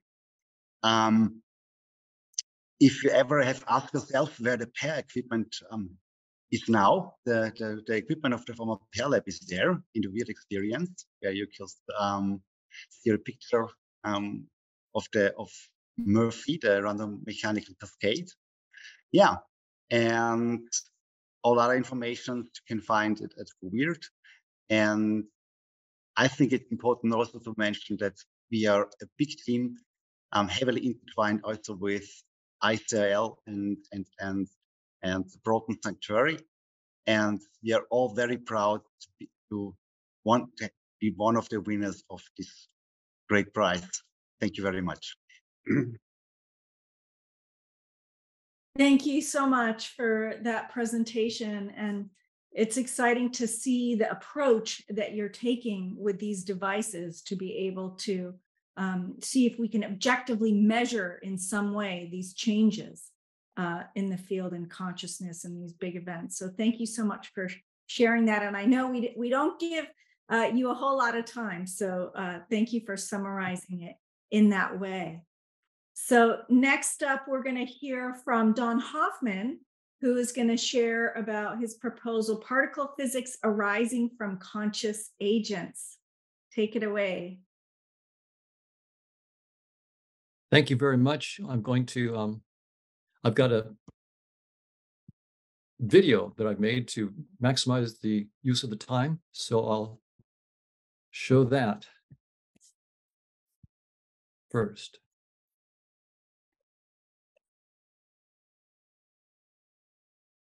On behalf of Chetan Prakash and Shwapun Chatterjee, I would like to say thank you to Institute of Noetic Sciences and to Linda O'Bryant for this award. We are most grateful. I will now discuss our proposal. Until recently, science has assumed that space and time, or their union into space-time, is fundamental reality. This has been a remarkably useful framework it is the foundation of quantum field theory, general relativity, and evolution by natural selection.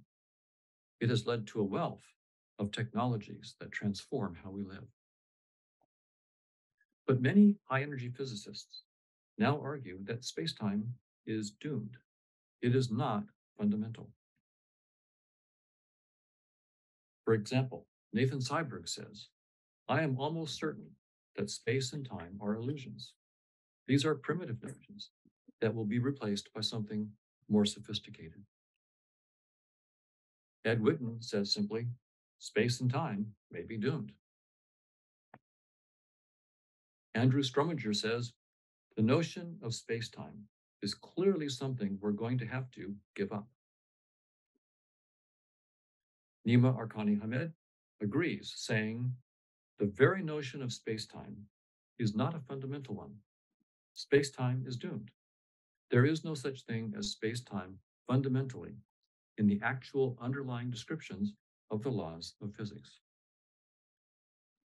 David Gross explains that space-time is doomed because there is no operational meaning.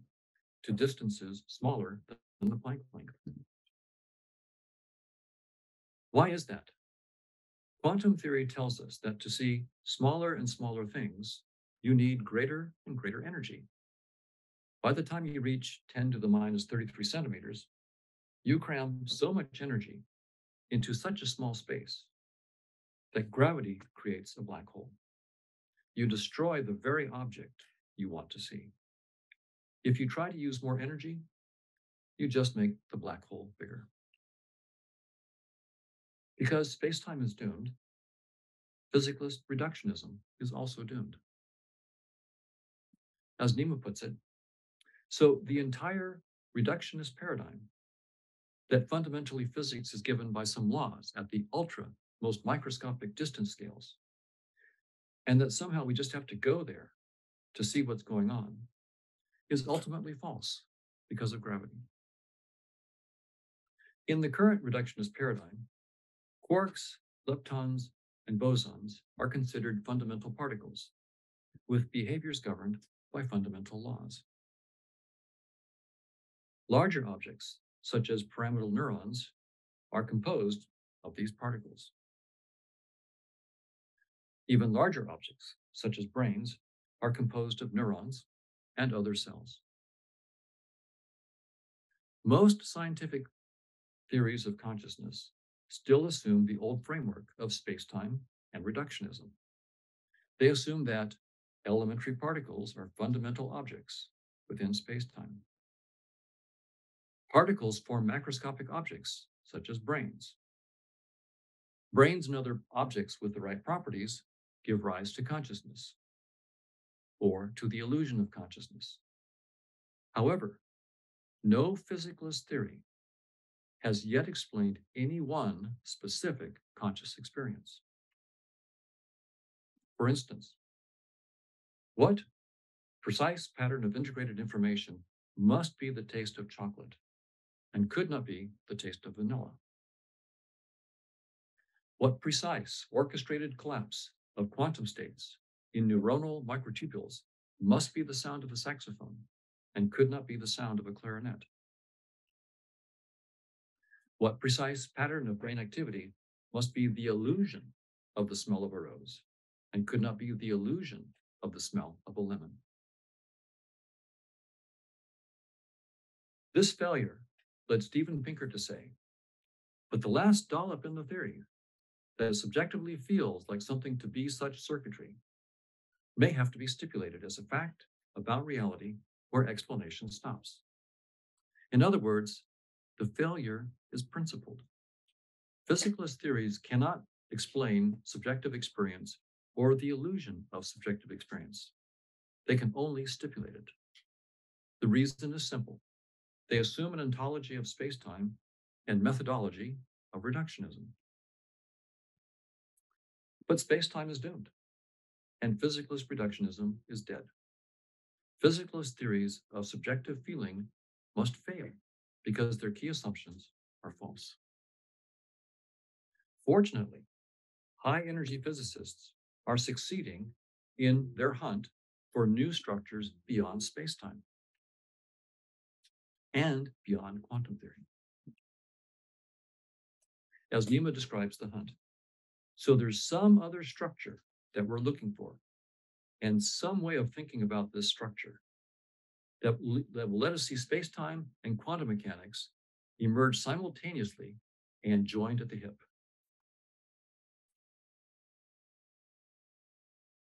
In this hunt, we need new structures and ideas that don't look anything like anything having to do with particles propagating in spacetime and wave functions evolving in Hilbert space.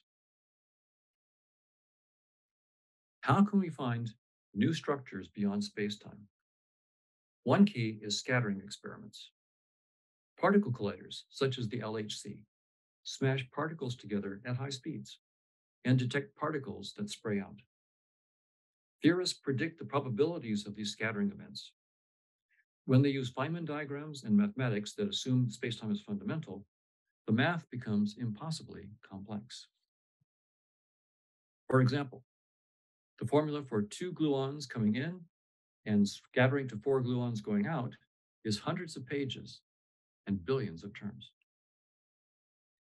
But in 2013, uh, Nima and collaborators discovered a geometric object beyond spacetime, the amplituhedron. Its volume encodes scattering amplitudes and can be computed in three or four terms instead of billions. Its structure reveals a hidden symmetry of scattering processes. We learn an important lesson. Let go of spacetime and reductionism. Then the math simplifies and new symmetries emerge. Remarkably, the new structures beyond spacetime are largely, and sometimes completely, determined by decorated permutations. When you shuffle cards, for instance, you permute their order. Decorated permutations are just regular shuffles with a little mathematical twist added. So high energy physicists are hunting beyond spacetime, and they have found structures such as the amplituhedron and decorated permutations. But what do they mean? What do these structures tell us? They are like obelisks beyond spacetime. Recall the apes in the movie 2001 A Space Odyssey that are looking, pounding, and screaming at an obelisk. They know it's full of meaning, but they have no clue. What are these structures trying to tell us? We propose that these static structures are pointing to a dynamics of entities beyond spacetime. This dynamics projects onto these static structures and then projects into spacetime. In particular, we propose that beyond spacetime, there is a vast social network of interacting entities that we call conscious agents. Think of it as like the Twitterverse. There are millions of Twitter users each tweeting and following other users.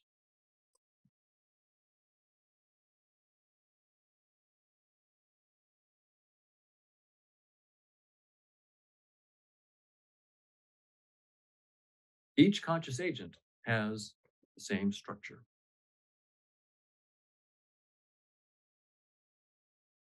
First, it has a set of possible experiences, such as the taste of chocolate or the smell of garlic. These experiences are represented mathematically as a probability space. In the Twitter metaphor, we can think of these experiences as the tweets the agent receives. Based on its current experiences, the agent then decides what action to take. This decision is represented mathematically by a Markovian kernel. The set of actions available to the agent also are represented mathematically as a probability space. In the Twitter metaphor, we can think of these actions as like responding to a tweet by liking it, retweeting it, or ignoring it. Once the action has been chosen, the action is then performed. This act is again represented mathematically by a Markovian kernel. The action affects one or more members of the network of conscious agents. In the Twitter metaphor, the network is the entire Twitterverse, and those affected by your actions are those Twitter users that follow you. Once the agent's action has affected the network, the network responds by influencing the agent's next experience. This act is again represented mathematically by a Markovian kernel. This completes the loop. A theory of conscious agents must explain many things, including everything listed here. Our definition of a conscious agent heeds Occam's razor by assuming as little as possible. It only assumes the existence of qualia, that is, of experiences and of actions based on, qual- on qualia. Everything else in this list learning, memory, the self, intelligence, problem solving must be explained as emerging from networks of interactions among conscious agents. But this can be done in principle because conscious agent networks are computationally universal. Anything that can be computed, for instance, by neural nets can be computed by conscious agent nets.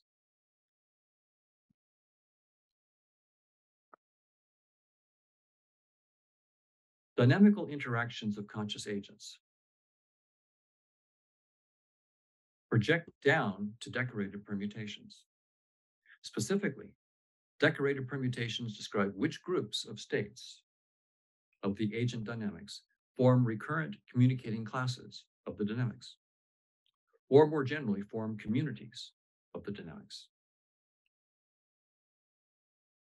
These decorated permutations then project to spacetime as described by high energy physics. Spacetime appears as a user interface whereby some agents interact with others. Properties of particles, such as mass, momentum, and spin, are projections of properties of the recurrent communicating classes.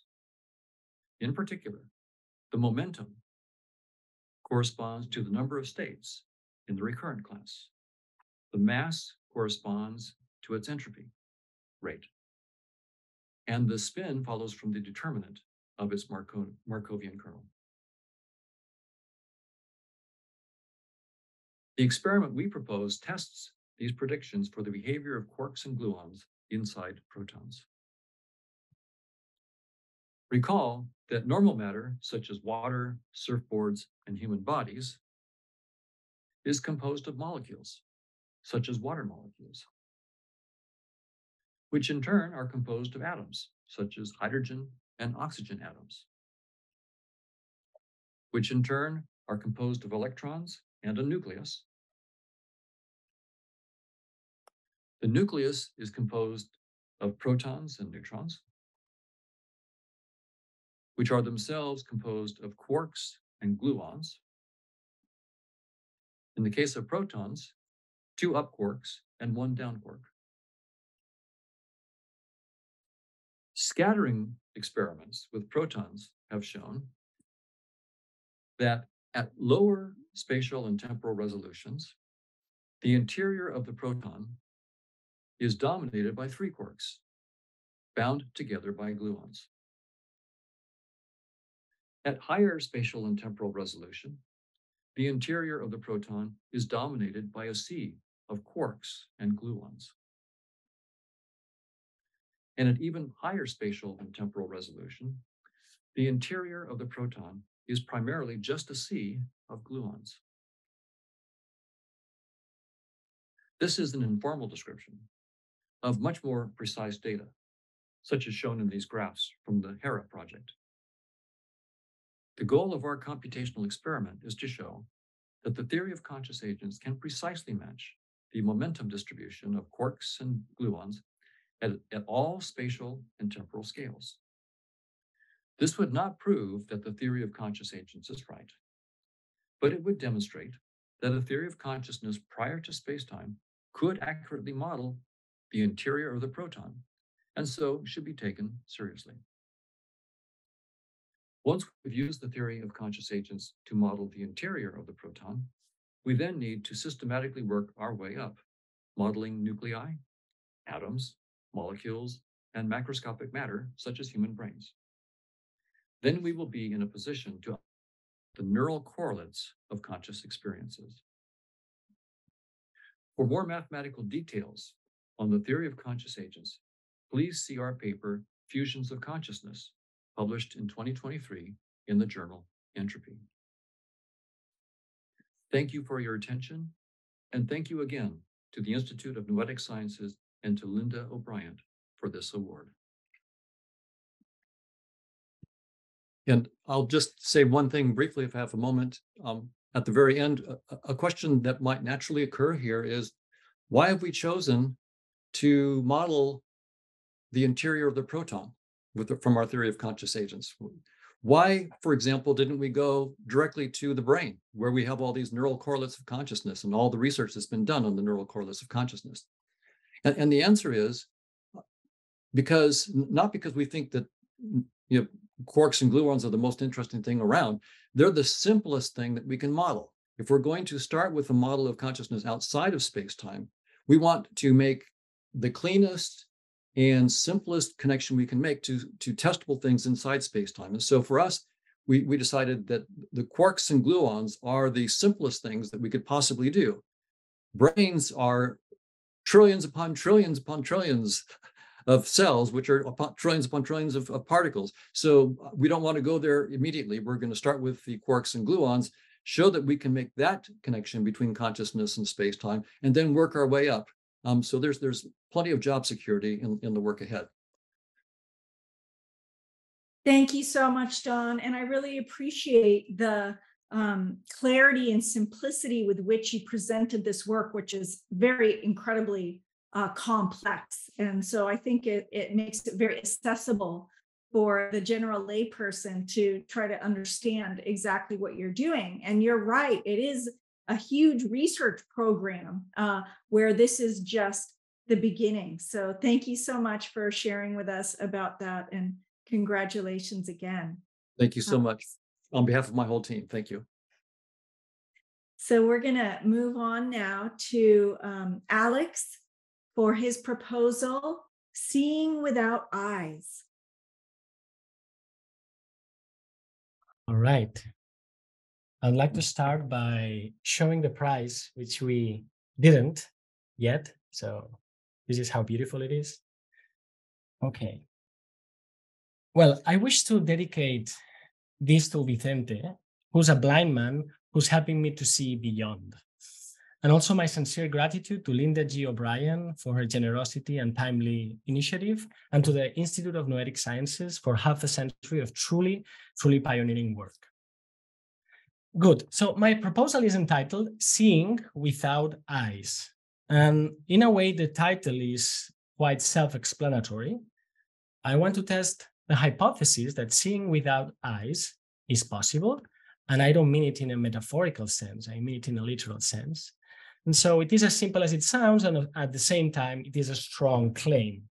So I would like, if you allow me, to read you the summary of my proposal. It's just 200 words as an invitation to actually read the entire essay, which is more than 30 pages, but it's, it's written so that lay people as well as experts can appreciate it.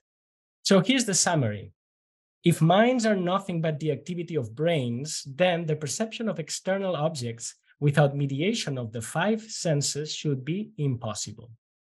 However, if it was shown that humans can see without their physical eyes, such extraocular vision, let's call it, would not only challenge the prevailing materialistic scientific paradigm, but actually refute it. Our main hypothesis is that seeing without eyes is possible, not just metaphorically, but literally. Building upon scattered evidence of the phenomenon across different schools in time, we propose a series of tightly controlled experiments to effectively elicit and rigorously measure extraocular vision in talented individuals, especially blind people. In addition to providing strong empirical evidence, we highlight the importance of theoretical work to give us reasons to believe the data. Anomalous cognition in one framework can become quite normal, not so anomalous, but quite normal in another. Frame within a Jamesian, William James, Jamesian theory of brain function, whereby the brain would permit consciousness rather than produce it, our proposal can demonstrate that you are more than your brain. Ironically, let's not forget, we need to go beyond the brain, but also we must come back to the brain as a privileged organ that can give us clues about the difficult marriage between mind and matter. All right, so what am I doing here? What I'm doing is extending the notion of the extended mind, taking it seriously. As you know, since Descartes, we've been suffering the wounds of a really difficult divorce between res cogitans and res extensa, between soul and body, between mind and matter. Well, the extended mind, which is accepted not, not only in the orthodoxy, but in the, in the heterodoxy of cognitive science, has been making waves over the last 25 years. And what I'm asking is, well, does it need extension? Can we extend the extended mind? What does that mean? Well, it means that we ask the following question. Do we see the objects, the objects of the outside world inside our head? Or do we see those objects right there where they appear to be? So is our mind really extended? Is it extended plus, perhaps non-local? And if so, then seeing without eyes may be possible. Okay, the subtitle of my proposal is, I believe, also quite telling. It is climbing up the impossibility ladder with controlled experiments in talented individuals. Let me break this for you. Climbing up. Well, climbing up because it is an it's an effort, but not only an effort, it is a struggle as a, and a, quite a difficult one for reasons I'll come to to, to at the end. And and this community knows quite well what I mean. It's really a struggle to study these things, not just because they're hard scientifically, but also sociologically. The impossibility ladder. Well, the word impossible here, it's key. Here's a sad joke. So here you come with the data and say, hey, check the data. And then the person replies, oh, very good. But is it possible in theory? Right? What does that mean? That evidence alone, and you need to bring good evidence, strong evidence, will not make it. We need reasons to believe in that evidence. And then the second part of the subtitle, controlled experiments in talented, in talented individuals. Well, we need tight, and I agree, tighter controls than what's been done um, in, in the experiences that are around that have, have to do with seeing without eyes. But here I want to name the elephant in the room of those who believe that seeing without eyes is possible, which is that there's often trickery. Yes, there is. So we need tight controls. And so we need to address the concerns of the skeptics, not when they become stubbornly dogmatic, but skeptics has a place. Now, in talented individuals, well, we need also to attend and integrate the claims of the believers. And so we need to find those, those talented individuals who claim they can do such things. And they are around. They're perhaps difficult to find, but we need to find them and engage with them. And why are they important? Well, another joke, because drowning is not a proof that swimming is impossible. And very often we say, well, let's try it in a population. It doesn't work, therefore it's impossible. Well, Perhaps we need to try it in people who can actually do it. So this is very important because as somebody asked me the other day, hey, Alex, but do you really believe in this? And I would say it's complicated as a scientist. Yes and no.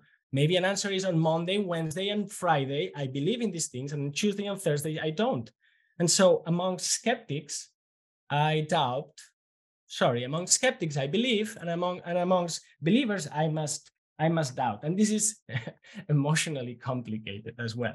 All right, let me tell you a story of how I ended up interested in this because you can read a lot of the details in the proposal. So I had a near death experience in 2021. I was really low on, on energy, as you can imagine. And as I started recovering, weeks and months went by. And the first book I could read was this book by Jacobo Grinberg, the Mexican neurophysiologist who disappeared in 1994. And I was reading that because I was interested in theories of consciousness. And by the way, Jacobo had a theory before the Anglo-American war decided that the history of the science of consciousness started in, in the 90s. Well, way, way before there, there were theories of consciousness. But that's not what I want to talk about today. Jacobo had also been doing some really crazy experiments, weird experiments, incredible. And one of them had to do with extraocular vision in kids in a school in Mexico. So I Googled it. I Googled extraocular vision, and I realized there's something going on in Spain, strange, in the city where I live, Alicante, so strange. And it's actually happening tomorrow when I Googled it. So I went in contact, I put in contact with these people, and I went and I saw with my own eyes how a group of kids were seeing without their eyes. They were blindfolded, allegedly seeing without their eyes. They were blindfolded, they could report colors, figures, and even read. So I could not believe what I saw. So what did I do? Well, I'm a theoretician by training, by the way. So I read everything I could. And I found something. There's quite a lot of material, actually, if you scratch. In particular, I want to highlight this article that's 40 years old by Jacobo Grinberg called Extraocular Vision, and a book that's this year 100 years old by Jules Romains in France called Eyeless Sight. As it turns out, to make a story, a long story short, well, throughout different decades in different countries, in different traditions, under different names such as extraocular vision, eyeless sight, optical perception, extraretinal vision, infovision, vibra vision, mind sight. Some have the R because are methods that are told and sold. Well, this, there's this constellation of claims that people can see without their eyes. And of course, they're, they're related in a way, maybe they're cousins with remote viewing and maybe also with lucid dreaming and out of body experience experiences. So here we have this, this island, this archipelago, right? And of what I call the edges of consciousness. Edges because they're a frontier in research, as we as we can see at, at, at IONS, and also edges because they're marginalized. Okay, so back to the proposal. So I took the skeptics seriously because the, the, the, the thing was not moving. Some said, well, if you're using blindfolds in those kids, well, you can always, and that was Martin Gardner, a famous skeptic who wrote a paper in Science in 1966. He said, well, you can always cheat. You can always no speak. And, and so I propose kind of a painstakingly how you would use blindfolds, design helmets, put things into boxes, wear gloves, because there's also another theory that says you're perceiving through your skin, Re- rule out all sensory information. That's the first chunk. The second chunk to climb up the impossibility ladder is that, well, Gardner himself said, well, perhaps we could only really believe in this because you, at some point you need to ask a, a hardcore skeptic, well, what would you be willing to consider? And he said, well, maybe if a blind person could do it, maybe we then consider it. Well, I found one. I found one, and it seems he can do it. So what I proposed here is this kind of stringent set of controls, including what I call a triple blind, if you allow me, a triple blind set of experiments where we have all these controls, a blind person, and also the experimenter should not know what's going on. This is technical, but this is also important, not to convey subliminal information. And so I propose a series of these, basically two types of experiments, discrimination tests, telling, let's say, blue cups versus red cups, and also the perception of complex images, which remind me from what I've been reading about what's been done forever in remote viewing. Complex images like a fireplace by the beach or a helicopter, and then people, and again, I've seen it, allegedly, they can see or they can tell you what's in there.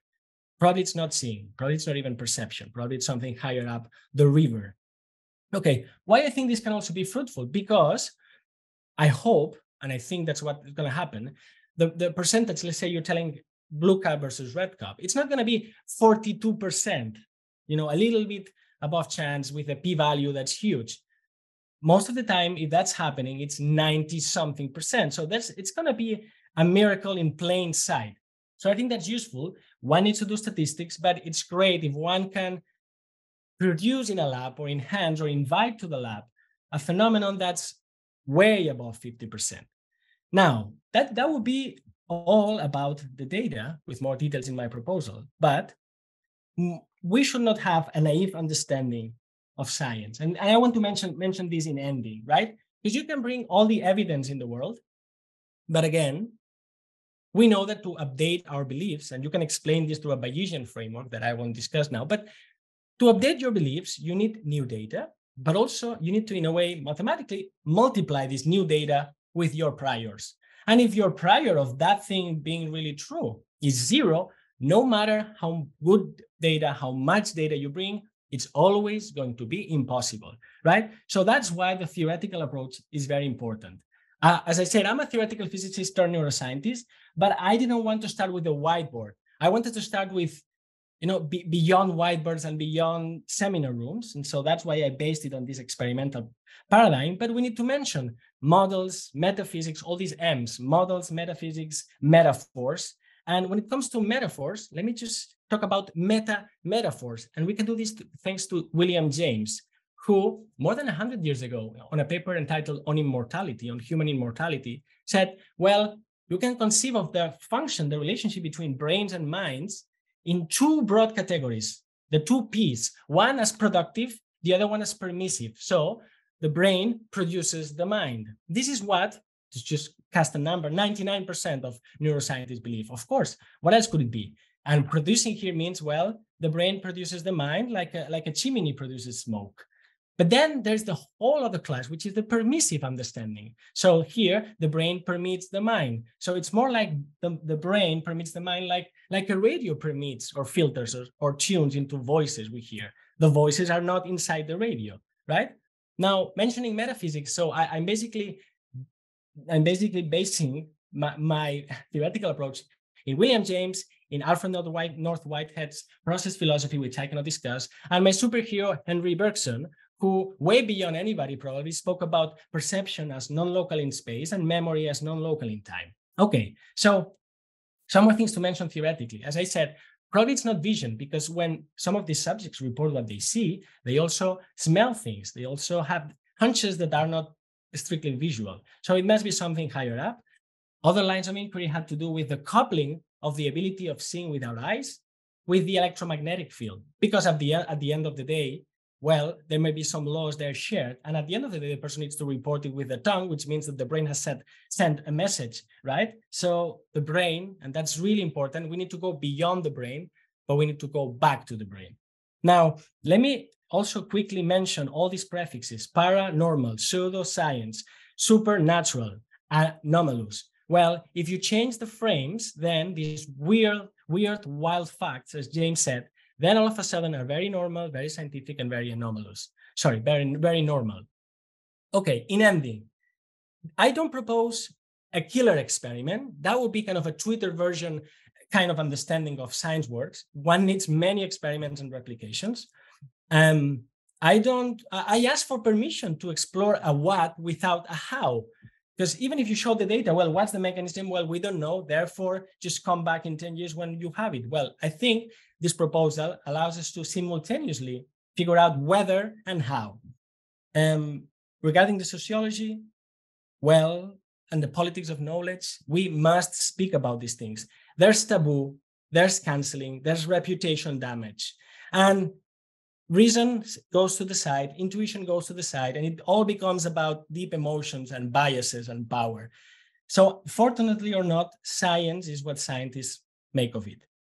So, what I think this can do is to help the crumbling of what I call the unholy trinity of reductionism, mechanicism, and materialism. The two first ones are easier, but materialism is tougher. And I think we're heading towards a post-material materialist. I like to call it trans-materialist because I think we need matter anyways. Um, although nobody really knows what that is, even those that card-carrying materialists, if you ask them what is matter, well, they really don't know. So I think we're making advance towards going beyond this unholy trinity. And really in ending, I must confess, I'm a newcomer in this. And I'm deeply grateful to this community for just receiving me so well. I want to give thanks to Eddie Villimoria for supporting this, Jordi Imbert, from whom I've learned a lot about extraocular vision. He's a coach in Spain, and my friend Rupert Sheldrake. And this has been a this is a celebration, but I also want to use it as a manifesto. A manifesto to those, let's call them middle-aged scientists that to come out of the closet. Please come out of the closet. We cannot be doing night science, day science, where we believe some things, and then in our corridors, in our coffee rooms, in the weekends, we believe other things. We need to come out of the closet. And I think initiatives like these and IONS are portals for us to be able to do so. And I'm doing it today with you. Thank you.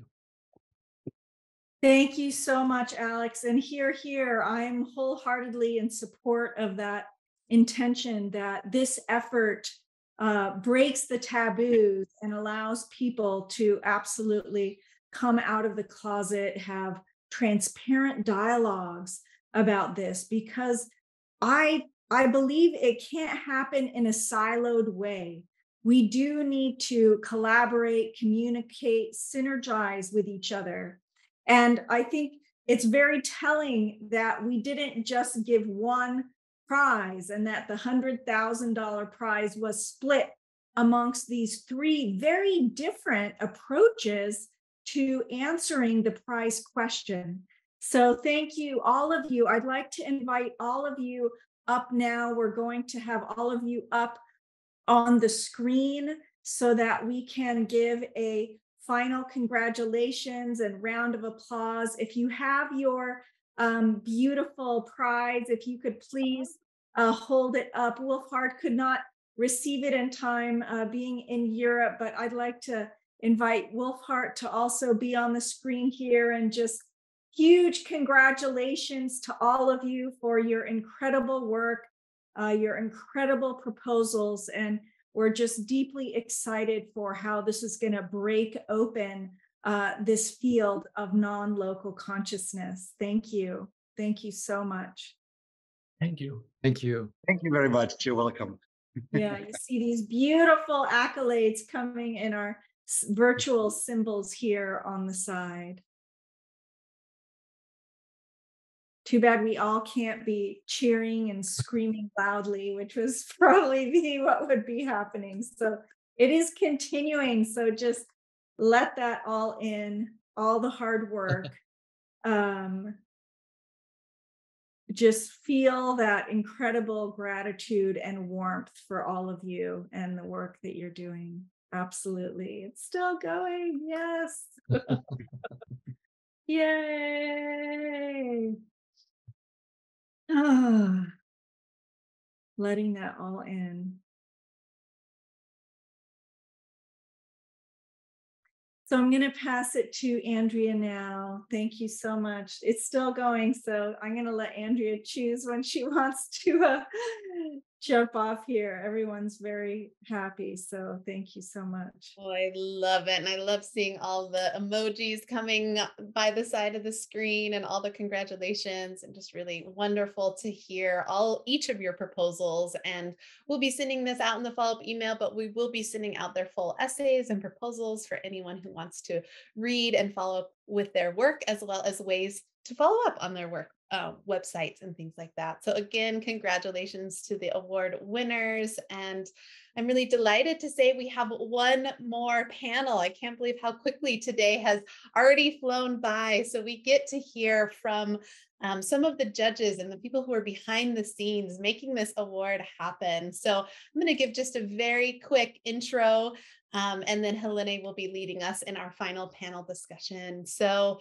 uh, on our panel today, we have Dr. Peter Bancel, who holds a doctorate in experimental physics from the University of Pennsylvania. And he began working in psi research shortly after the US terror attacks of September 11th, 2001, when he joined a small group looking at data from the Global Consciousness Project. His experiments probes into the inter interaction of psi and entanglement in quantum systems. So just a little bit about Peter and a little bit about our next presenter, Dr. Bruce Damer, who is a Canadian American multidisciplinary scientist, innovative designer, and speaker. Dr. Damer has spent two decades developing testable geochemical hypothesis for how life originated on Earth and where it might be found in the universe. So welcome, Bruce. We also have Dr. Roger Nelson, who is the director of the Global Consciousness Project, or GCP. He is the author or co author of 75 technical papers and two books. In 1980, he joined the Princeton Engineering Anomalies Research, or PEAR Lab, to coordinate research, and he created the GCP in 1997, building a world spanning random number generator network designed to gather evidence for coalescing global consciousness. And finally, we have Dr. Marilyn Schlitz, who's an acclaimed social scientist, award winning author, and master teacher. She's conducted clinical laboratory and field based research into consciousness, transformation, and healing. Her book includes Living Deeply, Consciousness and Healing, and Death Makes Life Possible. She's also the CEO, President Emeritus, and Senior Fellow here at the Institute of Noetic Sciences. So, welcome everyone. And Helané, let me pass it back to you. Thank you so much, Andrea. And it is such an honor to be here with some of the judges that supported this process. And as Arnaud mentioned, uh, we had 108 uh, applications that were submitted for this. And you can imagine the very, very difficult job that the judges had to narrow that down to 10 and then to narrow it down even further. And so I imagine many of you were surprised because the original intention was just to give one prize, and we uh, decided to actually give three. So we thought it very important to give you a little bit of insight into that process and to hear from the judges about consciousness research in general and the challenges that we face on it, and perhaps share some ideas about uh, insights from this process for how we can best move forward. So, each of the panelists will have about three minutes uh, to answer the two questions. And I'm going to just go in the order that um, I see on our screen here. So the first question is, what are the challenges in building a testable theory with our current scientific tools? And I will uh, start with Marilyn. Well, thank you for um, hosting this and for Linda for uh, committing her resources and her intentions to expanding our field. I think that, you know, from some of the comments we've heard about the foundations and uh, founding of IONS, it really has been about challenging our core metaphysical assumptions. And if we are committed to a worldview based entirely on materialism and physical reality being only that which can be measured, touched, tasted um, out there, then it doesn't leave much room for that aspect of interiority or subjectivity that I think all of us find most intimate and most fundamental to our personal identity. So I think that what we need to do is really begin to de- deconstruct those assumptions to begin to think about how a post materialist science may emerge and how ultimately, as we create new tools, new epistemologies for understanding the nature of reality, that ultimately we may begin to build a new model of reality, a new ontology. And I think that's been an important part of IONS throughout its history. And I think that for all of us, it really is about hospicing uh, a dying paradigm that is no longer effective for understanding the fullness of our experience and ultimately midwifing something new. And so this is our chance, our opportunity, and our privilege. So thank you for having me. Thank you, Marilyn. And I'll pass it now to Roger. What are the challenges in building a testable theory with the current scientific tools?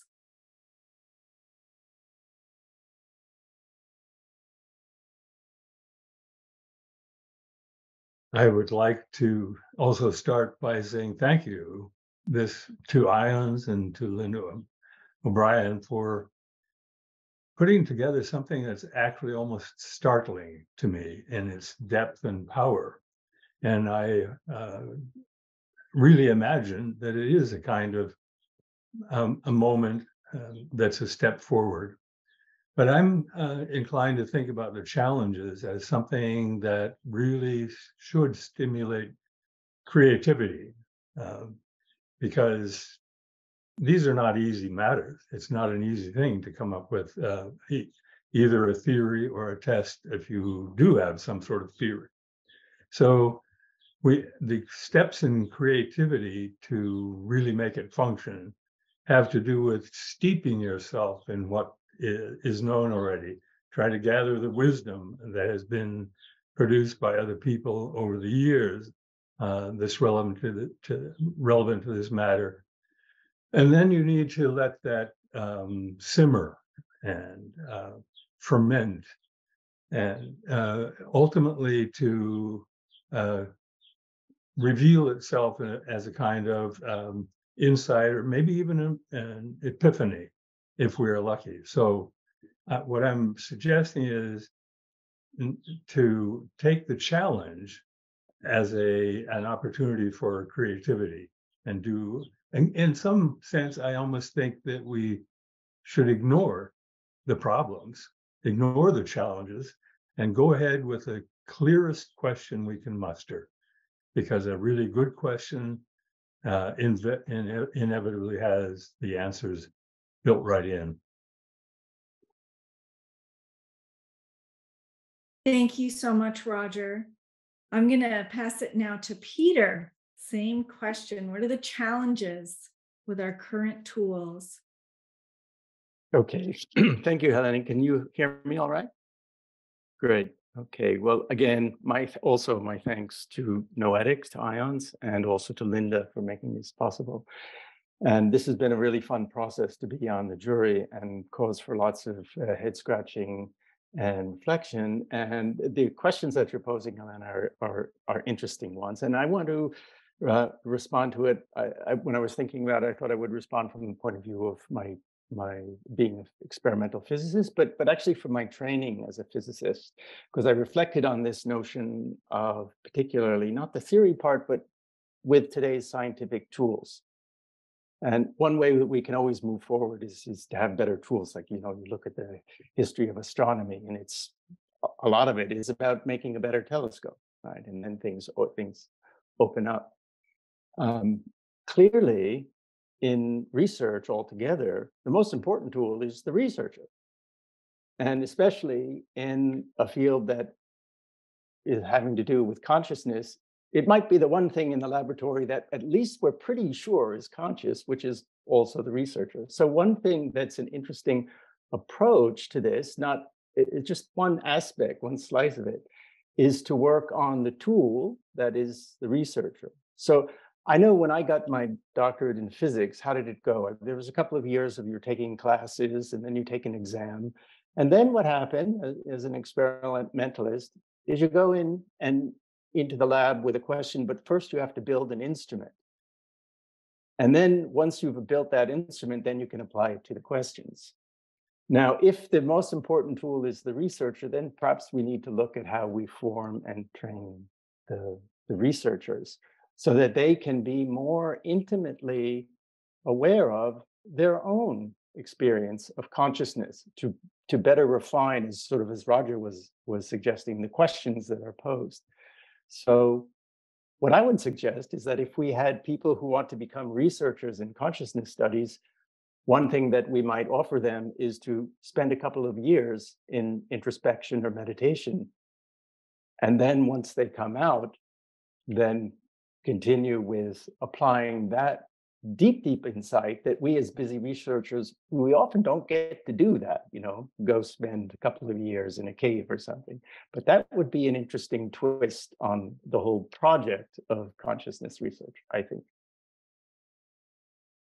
That's great. Thank you, Peter. And that's very aligned with IONS, you know, what we call the noetic handshake, right? Where we have the science plus the direct experience. And with the synergy of the both, can we have a much uh, broader, coherent understanding of these phenomenon? So yeah, actually, that's a it's a great thought, and I really appreciate that. I actually just spent a week observing uh, mediumship and physical mediumship, which just completely opened my scientist mind about tools and how do you study this, etc. Uh, thank you, Peter. I'm going to pass it now to Bruce for the same question about challenges. And again, uh, repeating thank you, IONS, and thank you, Linda G. O'Bryant, for making this all possible. Uh, one of the things is drawing on all of your thoughts and on especially Don Hoffman's reaching into physics to look for, in a sense, a new field, a new way we might be interconnected. My field is origin of life. And you can think of it as the atom smasher of biology that takes biology all the way back to the beginning of the first, what we call proto cells. And in a conversation with Rupert Sheldrake at the 2019 IONS conference, uh, we asked the question if morphic resonance is happening, between biological entities, uh, how can we test that in the most simple form? And why I really liked Don's presentation is let's reduce variables to simple systems and test them. You know, that's how, how physics would do it. We can do it in biology by building these self-assembled lipid polymer protocells. And what Rupert proposed is that these units uh, might influence each other's rates of evolution from the very beginning of life, from when that when that algorithm kicks in that perhaps energy with information and growth and adaptation begin. And our science is on the very verge of demonstrating that in the lab, how that basically ignition occurs. So if consciousness or conscious connection between us in the biological world, between our minds, between our minds and the entire universe is a connective medium or conductive medium, can we witness it emerging de novo at basic uh, recreations of life's beginning? So that's another frontier for people to think about. It's another future proposal for this work. But that's my perspective is the, the physics of biology and the core units of, of biology itself. Uh, and the tools there are quite different. Um, so in a way, it's a there's a convergence of things, and we see it through the prize competition, all the different approaches, the random number generators, the experiential approach of seeing without eyes, Don Hoffman's kind of smashing the atom approach.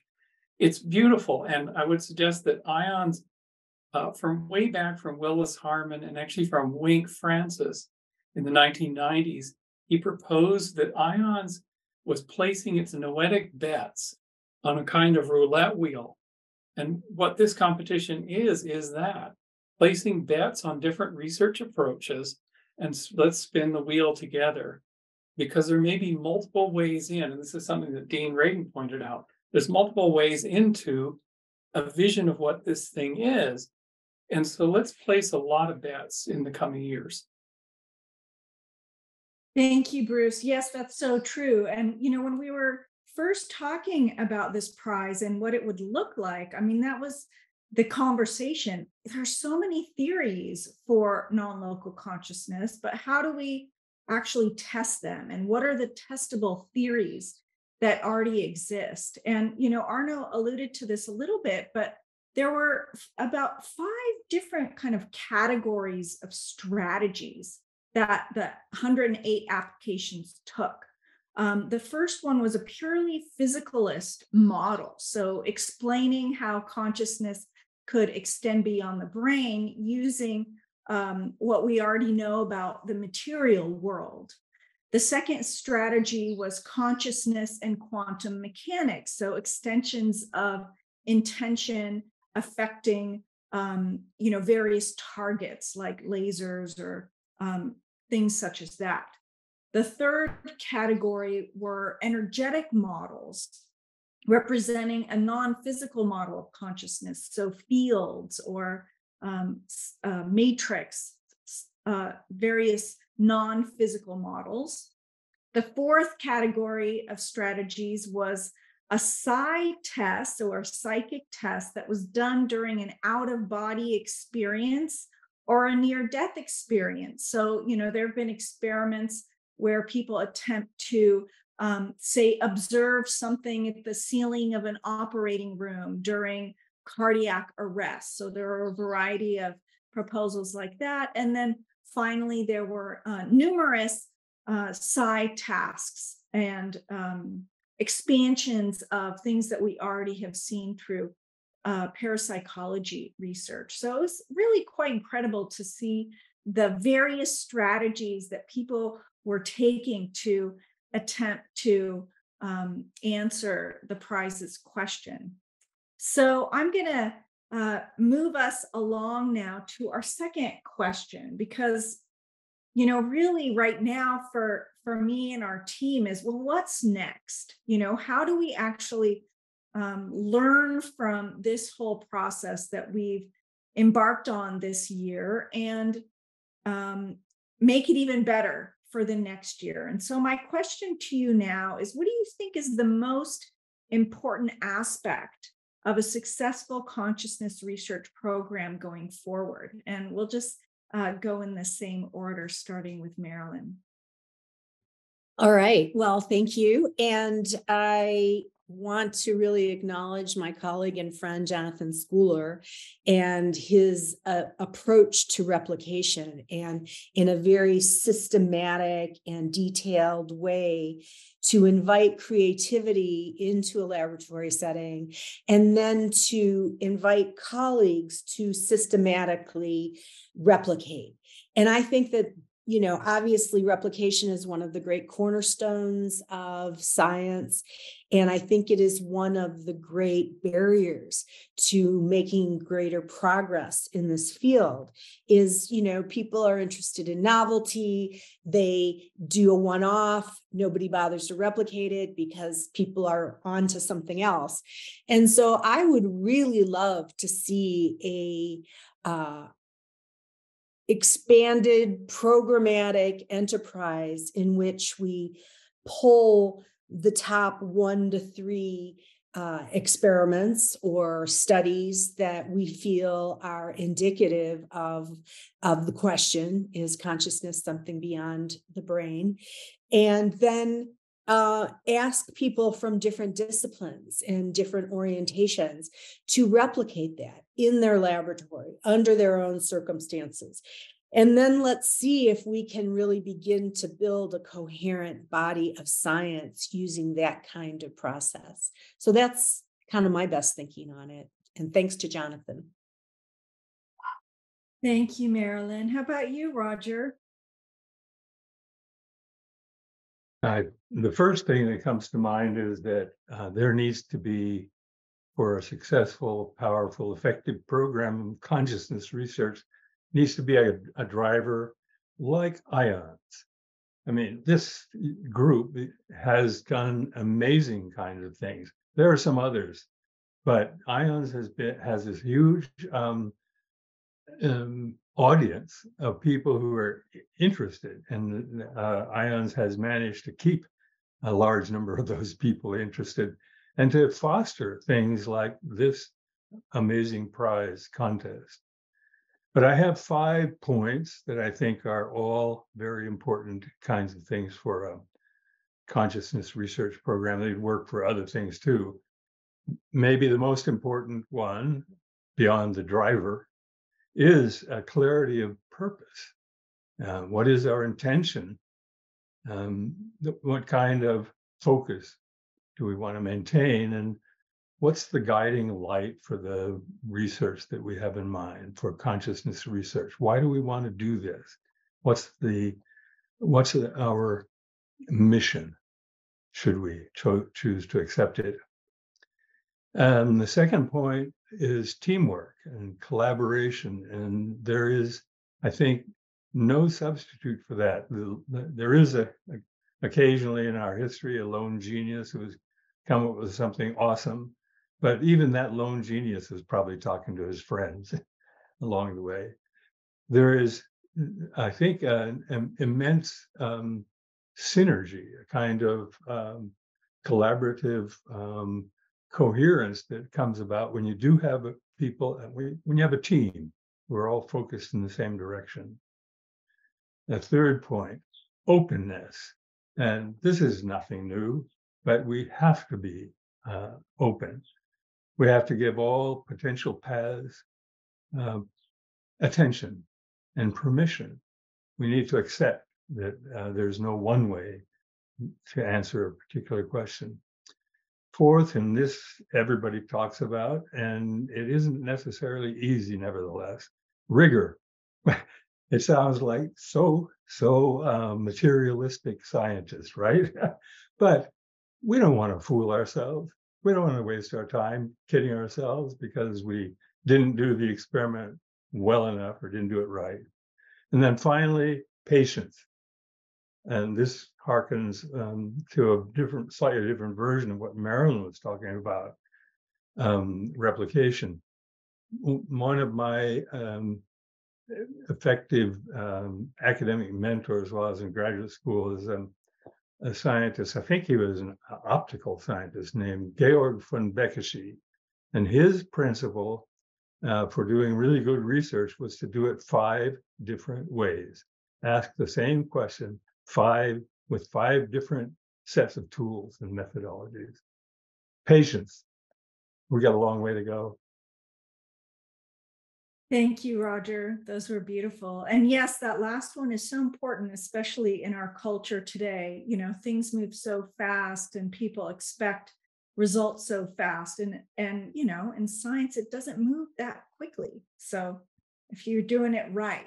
It takes time. So thank you for that reminder. Peter. Okay. Um, so this is an interesting question. What's the most, I'm reading it here, what's the most important aspect of a consciousness research pro program? I find myself agreeing with Marilyn and Roger.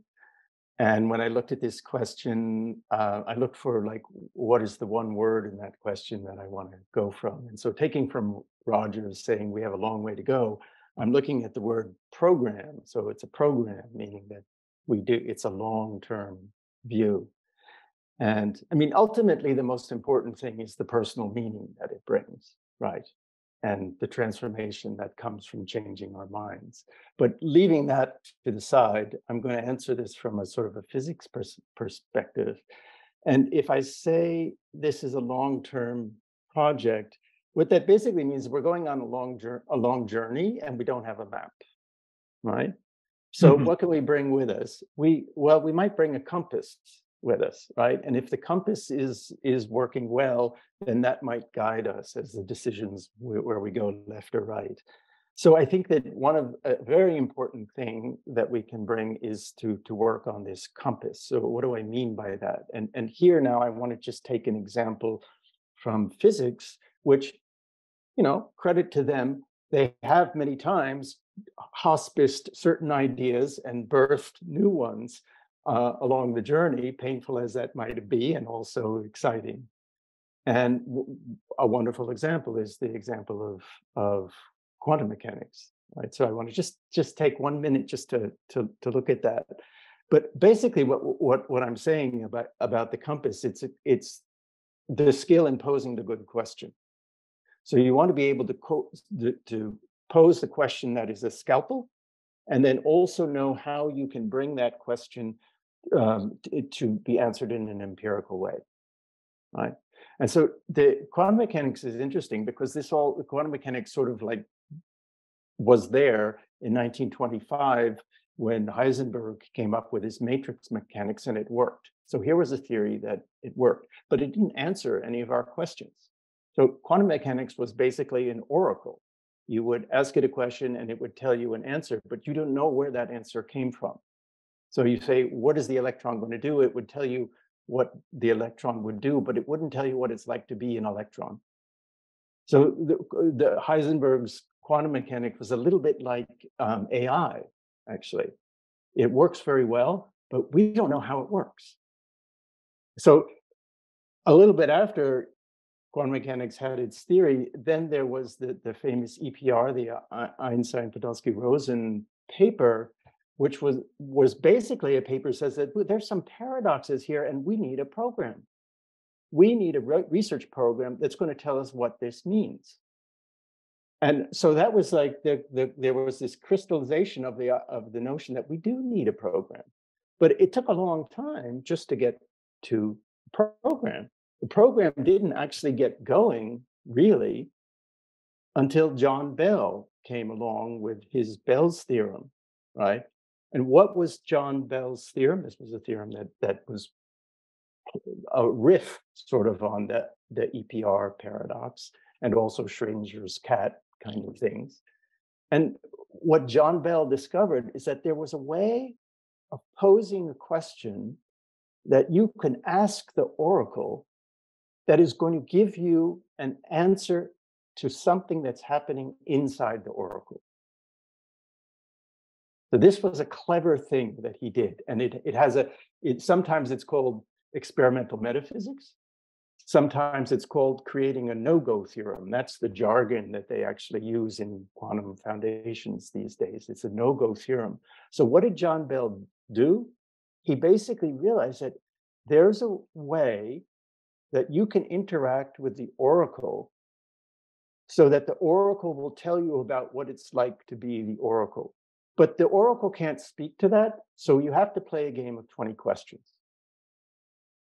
And you have to have a way of 20 questions. Your questions have to be able to be implemented empirically, maybe as an experiment. And that's an adventure now that is that is going great guns. And they're, they're actually starting to, to understand differently something about quantum mechanics, and maybe we can do that too. So I just, I'm going to just take 30 seconds, if I could, just to give one more example of how powerful that kind of thinking is. Think of Einstein's special relativity. So what is Einstein's special relativity? It's basically saying common notions plus one little experimental datum, which is that speed of light is constant. If I do physics here on the moon, it's going to look the same. And everything happens in space and time. And you put those three together, and what happens is you get a contradiction. And it says something's wrong. So it's so it's just a simple framing of showing that you've got something wrong. And then the question is, is which of these three, speed of light, moon or earth, or, or space and time, do I have to throw out? And then Einstein's brilliance, you see, this he, he by framing it that way, he can see what to do. And his brilliance was that you didn't have to throw out any of them. The only thing you had to do was take space and time and just tweak it, which really was the, the innovation. So space and time became space time. So, so I think this kind of clarity of, of, of working on how we can form the questions and then translate them to something that can be experimentally or empirically uh, looked at is where we really need to make an effort. And just like the the like the, the an example of this is is you know everything for us happens in time right? We get older and everything like that.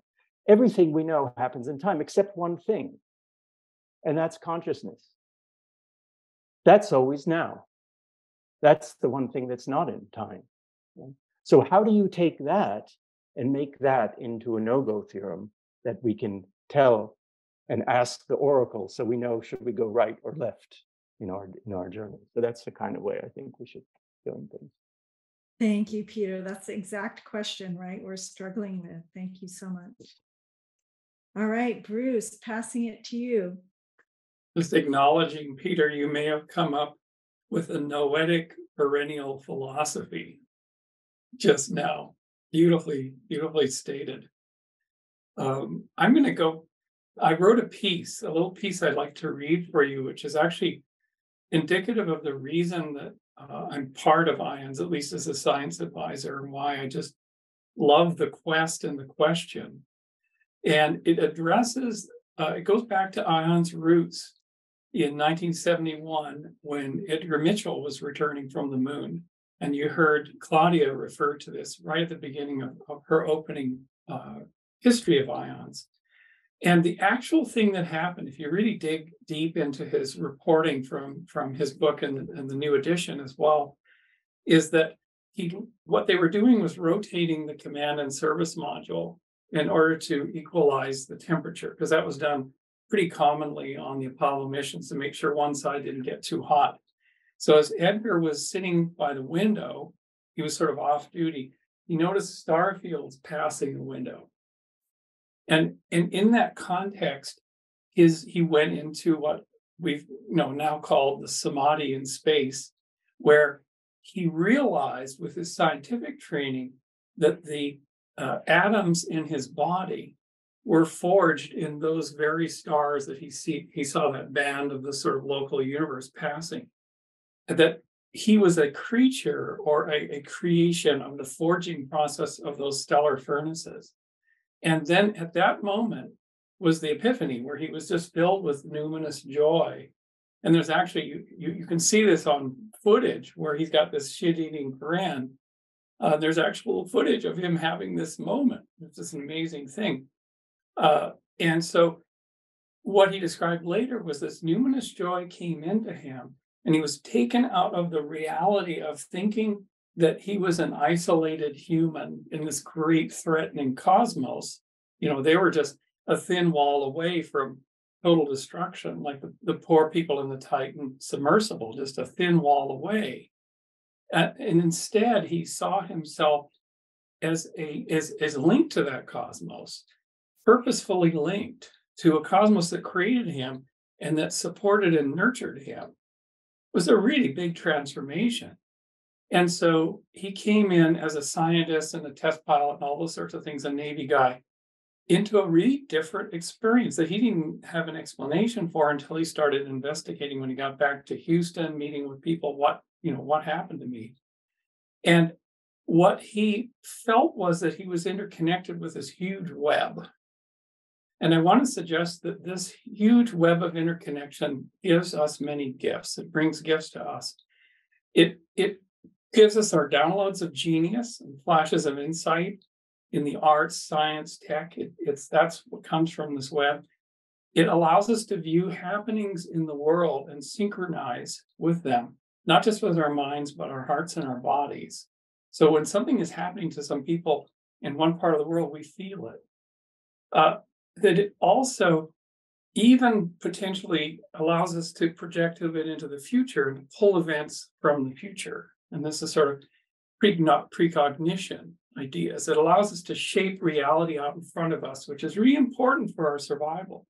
And I put forth that all of life shapes its future reality. Uh, and, and then, in a sense, all of this is our guide. So the net that we're plugged into, now we've made a, a physical nervous system called the internet, which it patterns onto, is our guide to how we are, to how we feel, to how we move forward. This net, this interconnected uh, web. Aldous Huxley called it mind at large. Uh, Carl Jung postulated that it was a synchronous field. Um, synchronous events would happen through that web. And I would suggest to you that we, in our time, we can declare that it's like an operating system, but it's code that's running all around us. It's like we're the fish in the water of this operating system of this web. We're breathing it, it propels us, it pushes us around, it, it provides us nutrition and support and buoyancy, just as Edgar Mitchell felt the universe was providing that. And to understand the OS of that web, to create protocols to ping it and say, let's make a request of it, to understand its language would be the greatest tool that Homo, that, that human beings were ever gifted in our hands for our future and positive intention and affirmation perhaps shape and shake that web in more positive, clear, coherent ways. Panic, panic, worry, and doubt might shake it in another way and make it more noisy.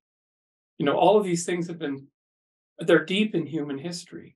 So, why this is important, let's paraphrase IONS' first president, Willis Harman, who wrote this beautiful piece and not before, uh, long before he passed.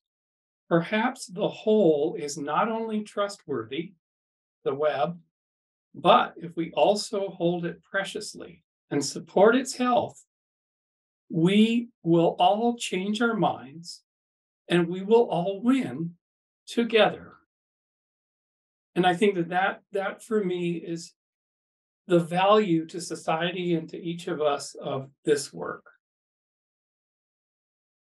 Thank you so much, Bruce. And thank you to each one of our panelists today for sharing your thoughts about the cha- challenges and future steps. I'd like to also acknowledge the judges who were not here today. All of you gave your time and your commitment to embark on this incredible journey of this prize this year. And I invite you and the audience to stay tuned for what the prize will be next year because it doesn't have to be the same. So we're really excited about um, creating, building off of this to create what the next year's prize is going to be. So just offer everybody deep gratitude, and I'm going to pass it uh, back to Claudia for our closing. Thank you.